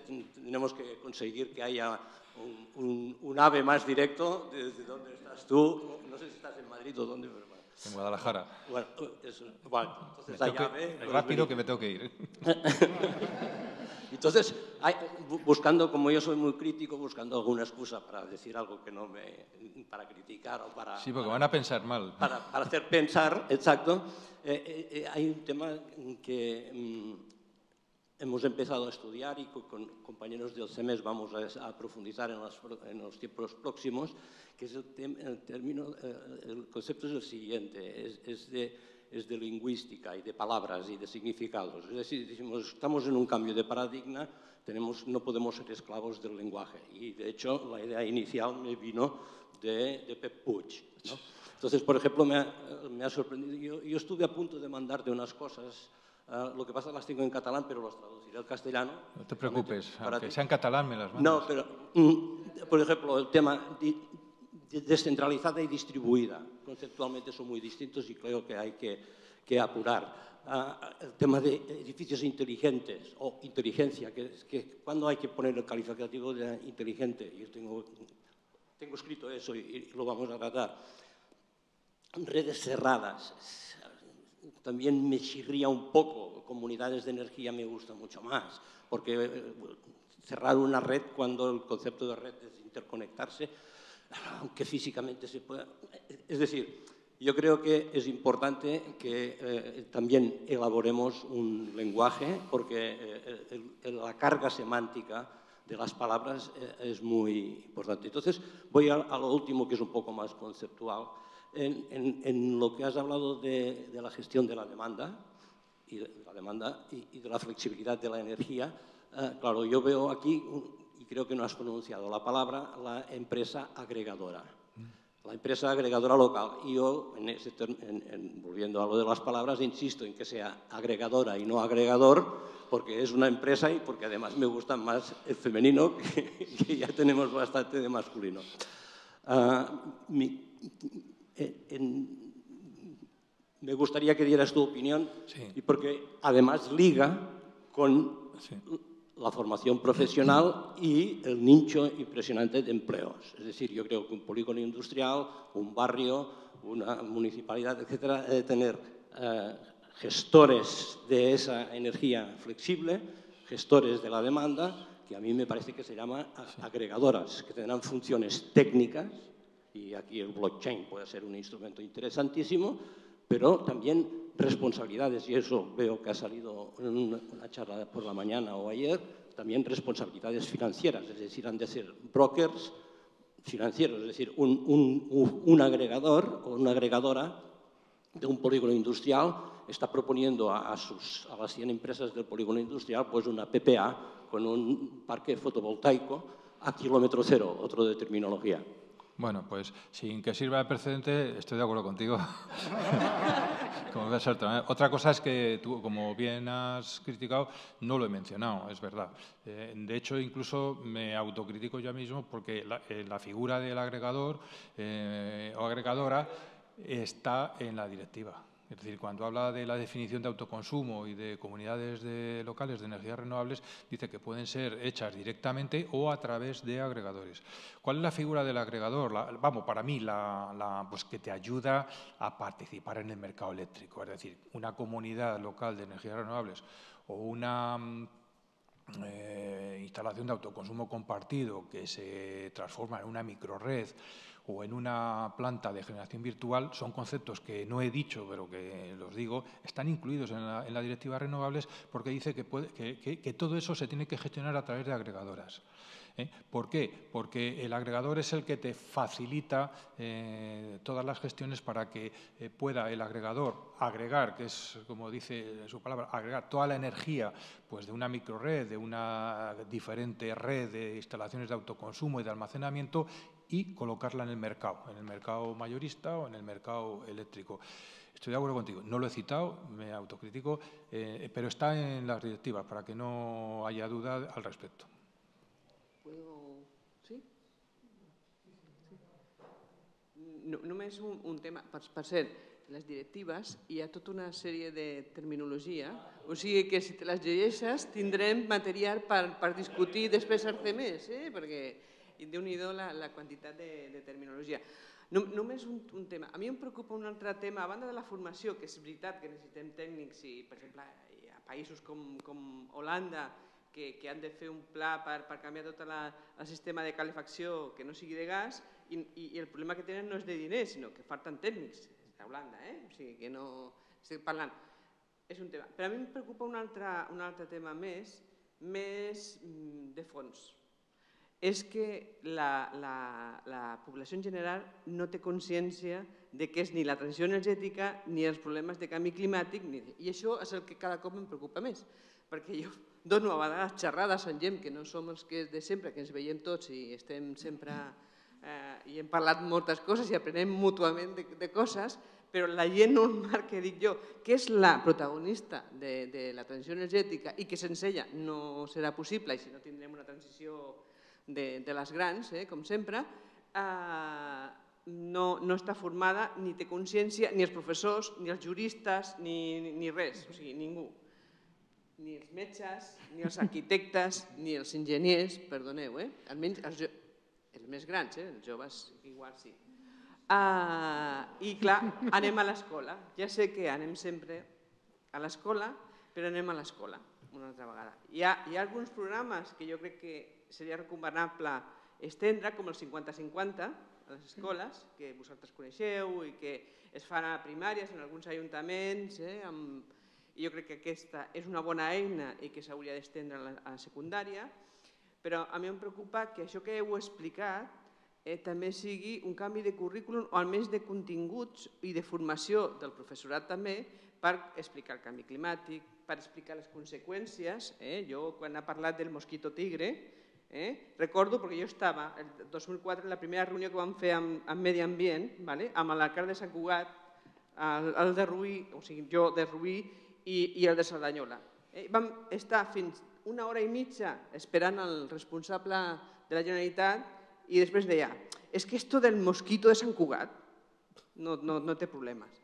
Ho dic perquè mmm, vale, o sigui, que hi ha molta cosa encara a, a canviar i l'escola jo crec que és clau. I ja sé que us donem una altra més feina, i, però, però mm, almenys formar els professors, i no per la part tècnica, sinó la part més essencial que puguin explicar. Jo mm, us, us encorajo, eh? a veure que, com sou els que porteu l'antorxa, eh? dir la Generalitat que, que toca aquest tema. Bueno, jo, com, com, com he dit, per sort hi ha molts docents, mestres, docents de secundària, que estan sensibilitzats. I fins i tot no només docents com a elements individuals, sinó que hi ha equips de professors i de mestres que això ho incorporen i fan treballs col·lectius, ja siguin projectes interdisciplinars que duren una setmana, dues setmanes, tres setmanes, com treballs de síntesi. Per tant, el, el tema del canvi climàtic, això és una cosa que segur que es treballa. Hi ha un programa de Medi Ambient i Ensenyament, que és el programa d'Escoles Verdes, que afecta especialment a centres d'educació primària, infantil i primària, menys a secundària, però que va fent la seva feineta. I tot i així, diguem-ne, els centres de nova creació, que molts ja treballen per projectes, intentant veure o, o treballar amb els alumnes, en què la realitat no està compartimentada per matèria, sinó que la realitat te la mires globalment, eh, treballen molts d'aquests temes de manera integrada i això eh, permet treballar doncs, eh, amb la mirada aquesta del canvi climàtic. Per exemple, també nosaltres al, Ah, sí, FP... un momento. Aquí em sembla que hi ha algú que ha de marxar per força. No, es que me tengo que ir, me tengo que ir a, a- a- coger el ave. O sea que... Guadalajara. por esto. Vale, muchas ¿Me gracias. puedo ir, Joaquín? de- Sí, sí, te- no, no, no, no, no te puedes ir, te has de ir. Oye, os- os- os agradezco, gracias, gracias.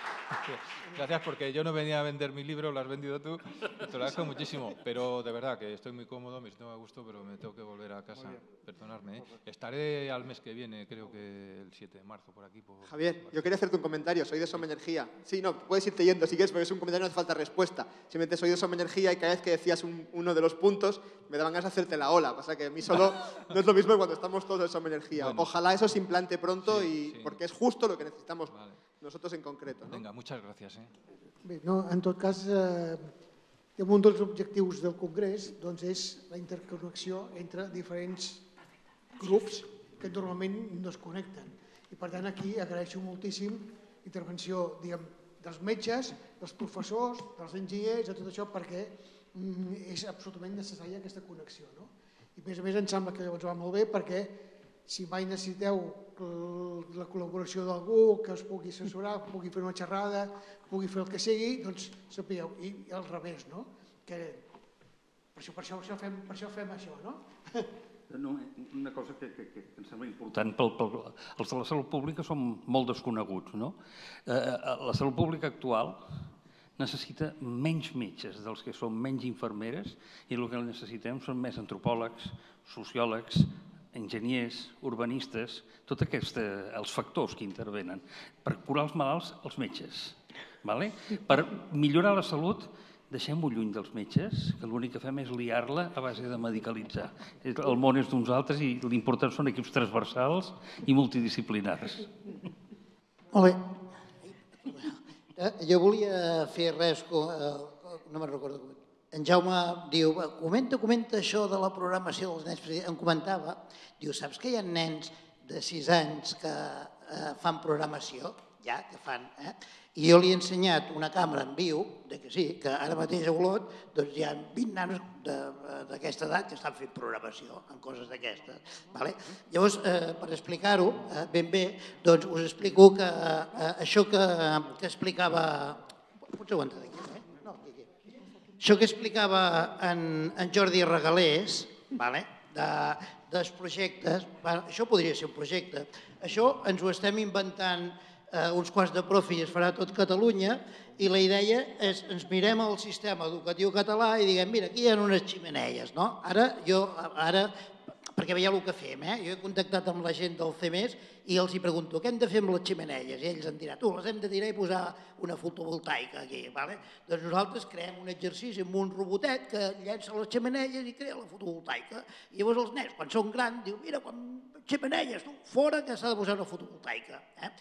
I això tenim capacitat de fer-ho, de cosetes d'aquestes de programació, a partir de, de, dels 5 anys. I que sapigueu que el Departament d'Ensenyament té un parell de, de persones que estan amb l'equip també companys amb en Jordi Regalés, que participen eh, junt amb gent de la Universitat de Berkeley amb la generació d'un software que serveix pel pensament computacional, vol dir perquè els nens petits sàpiguen programar, que es diu Snap, i, bueno, i aquestes coses es fan. I sí que és veritat que el sistema tradicional està caduc, eh?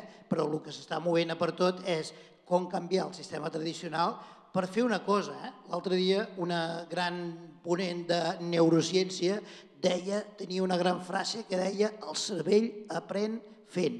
Doncs és el que fem aquí, fem cosetes, a veure si se'ns queda alguna cosa. Eh? Doncs res més, era per explicar això dels projectes, eh? que treballem amb els nens, en, simulacions perquè els hi soni. Eh? Doncs, eh, abans d'acabar, doncs, passarem el, vi- el vídeo del president eh, que està fora, que tanca aquest congrés. Estimats amics i amigues que participeu en aquest Congrés d'Energia de Catalunya, en aquesta sisena edició d'aquest congrés. Gràcies per aquesta iniciativa. Gràcies per demanar-me també que us adreci unes paraules i que ho faci i que tingui l'oportunitat de poder-vos eh, reiterar una vegada més, alguns ho heu sentit a dir, però crec que avui és una bona ocasió per dir-ho, l'enorme importància que té l'energia en el projecte de país que volem fer. L'energia vol dir el model de governança de l'energia, la relació que tenim els ciutadans amb l'energia, les fonts de producció d'aquesta energia, l'energia com a dret universal, l'energia com a dret dels ciutadans, l'energia com a eina de cohesió social, com a eina de progrés sostenible, com a eina de competitivitat també. Tot això ho tenim molt clar quan parlem de quin tipus de país volem fer. La sobirania, la sobirania energètica, les sobiranies que concorren en la sobirania energètica són peça essencial del tipus de república on volem viure. Coneixem molt bé quines són les característiques, les limitacions, les injustícies, les desigualtats que té un sistema, un model energètic com l'espanyol. Eh, els patim. Com a govern ens costa molt eh, poder fer front a aquestes desigualtats o les injustícies. I, I hem de dir prou, això. Ens volem semblar els millors països, els països que tenen les millors pràctiques energètiques, perquè entenen que la política energètica té un vessant també social, a part d'ambiental, a part d'econòmic, industrial, infraestructural, i és una eina de política social. Crec que amb el vostre talent, la, el vostre compromís, la vostra expertesa, també, permeteu-me que ho digui, les ganes que hi ha de la gent de Catalunya de viure en un model energètic diferent, més lliure, més sobirà, és una forma de fer república. És una forma d'apropar-nos a aquest eh, objectiu de país, que no és res més que el de poder compartir entre tota la gent que vulgui viure a Catalunya una mateixa eh, visió de progrés, de, de repartiment de benefici, d'assegurar oportunitats per a tothom. En aquí la energia juga un paper clau i no tinc cap dubte que el model energètic de què ens dotarem serà fill també de congressos com el vostre. Bona feina.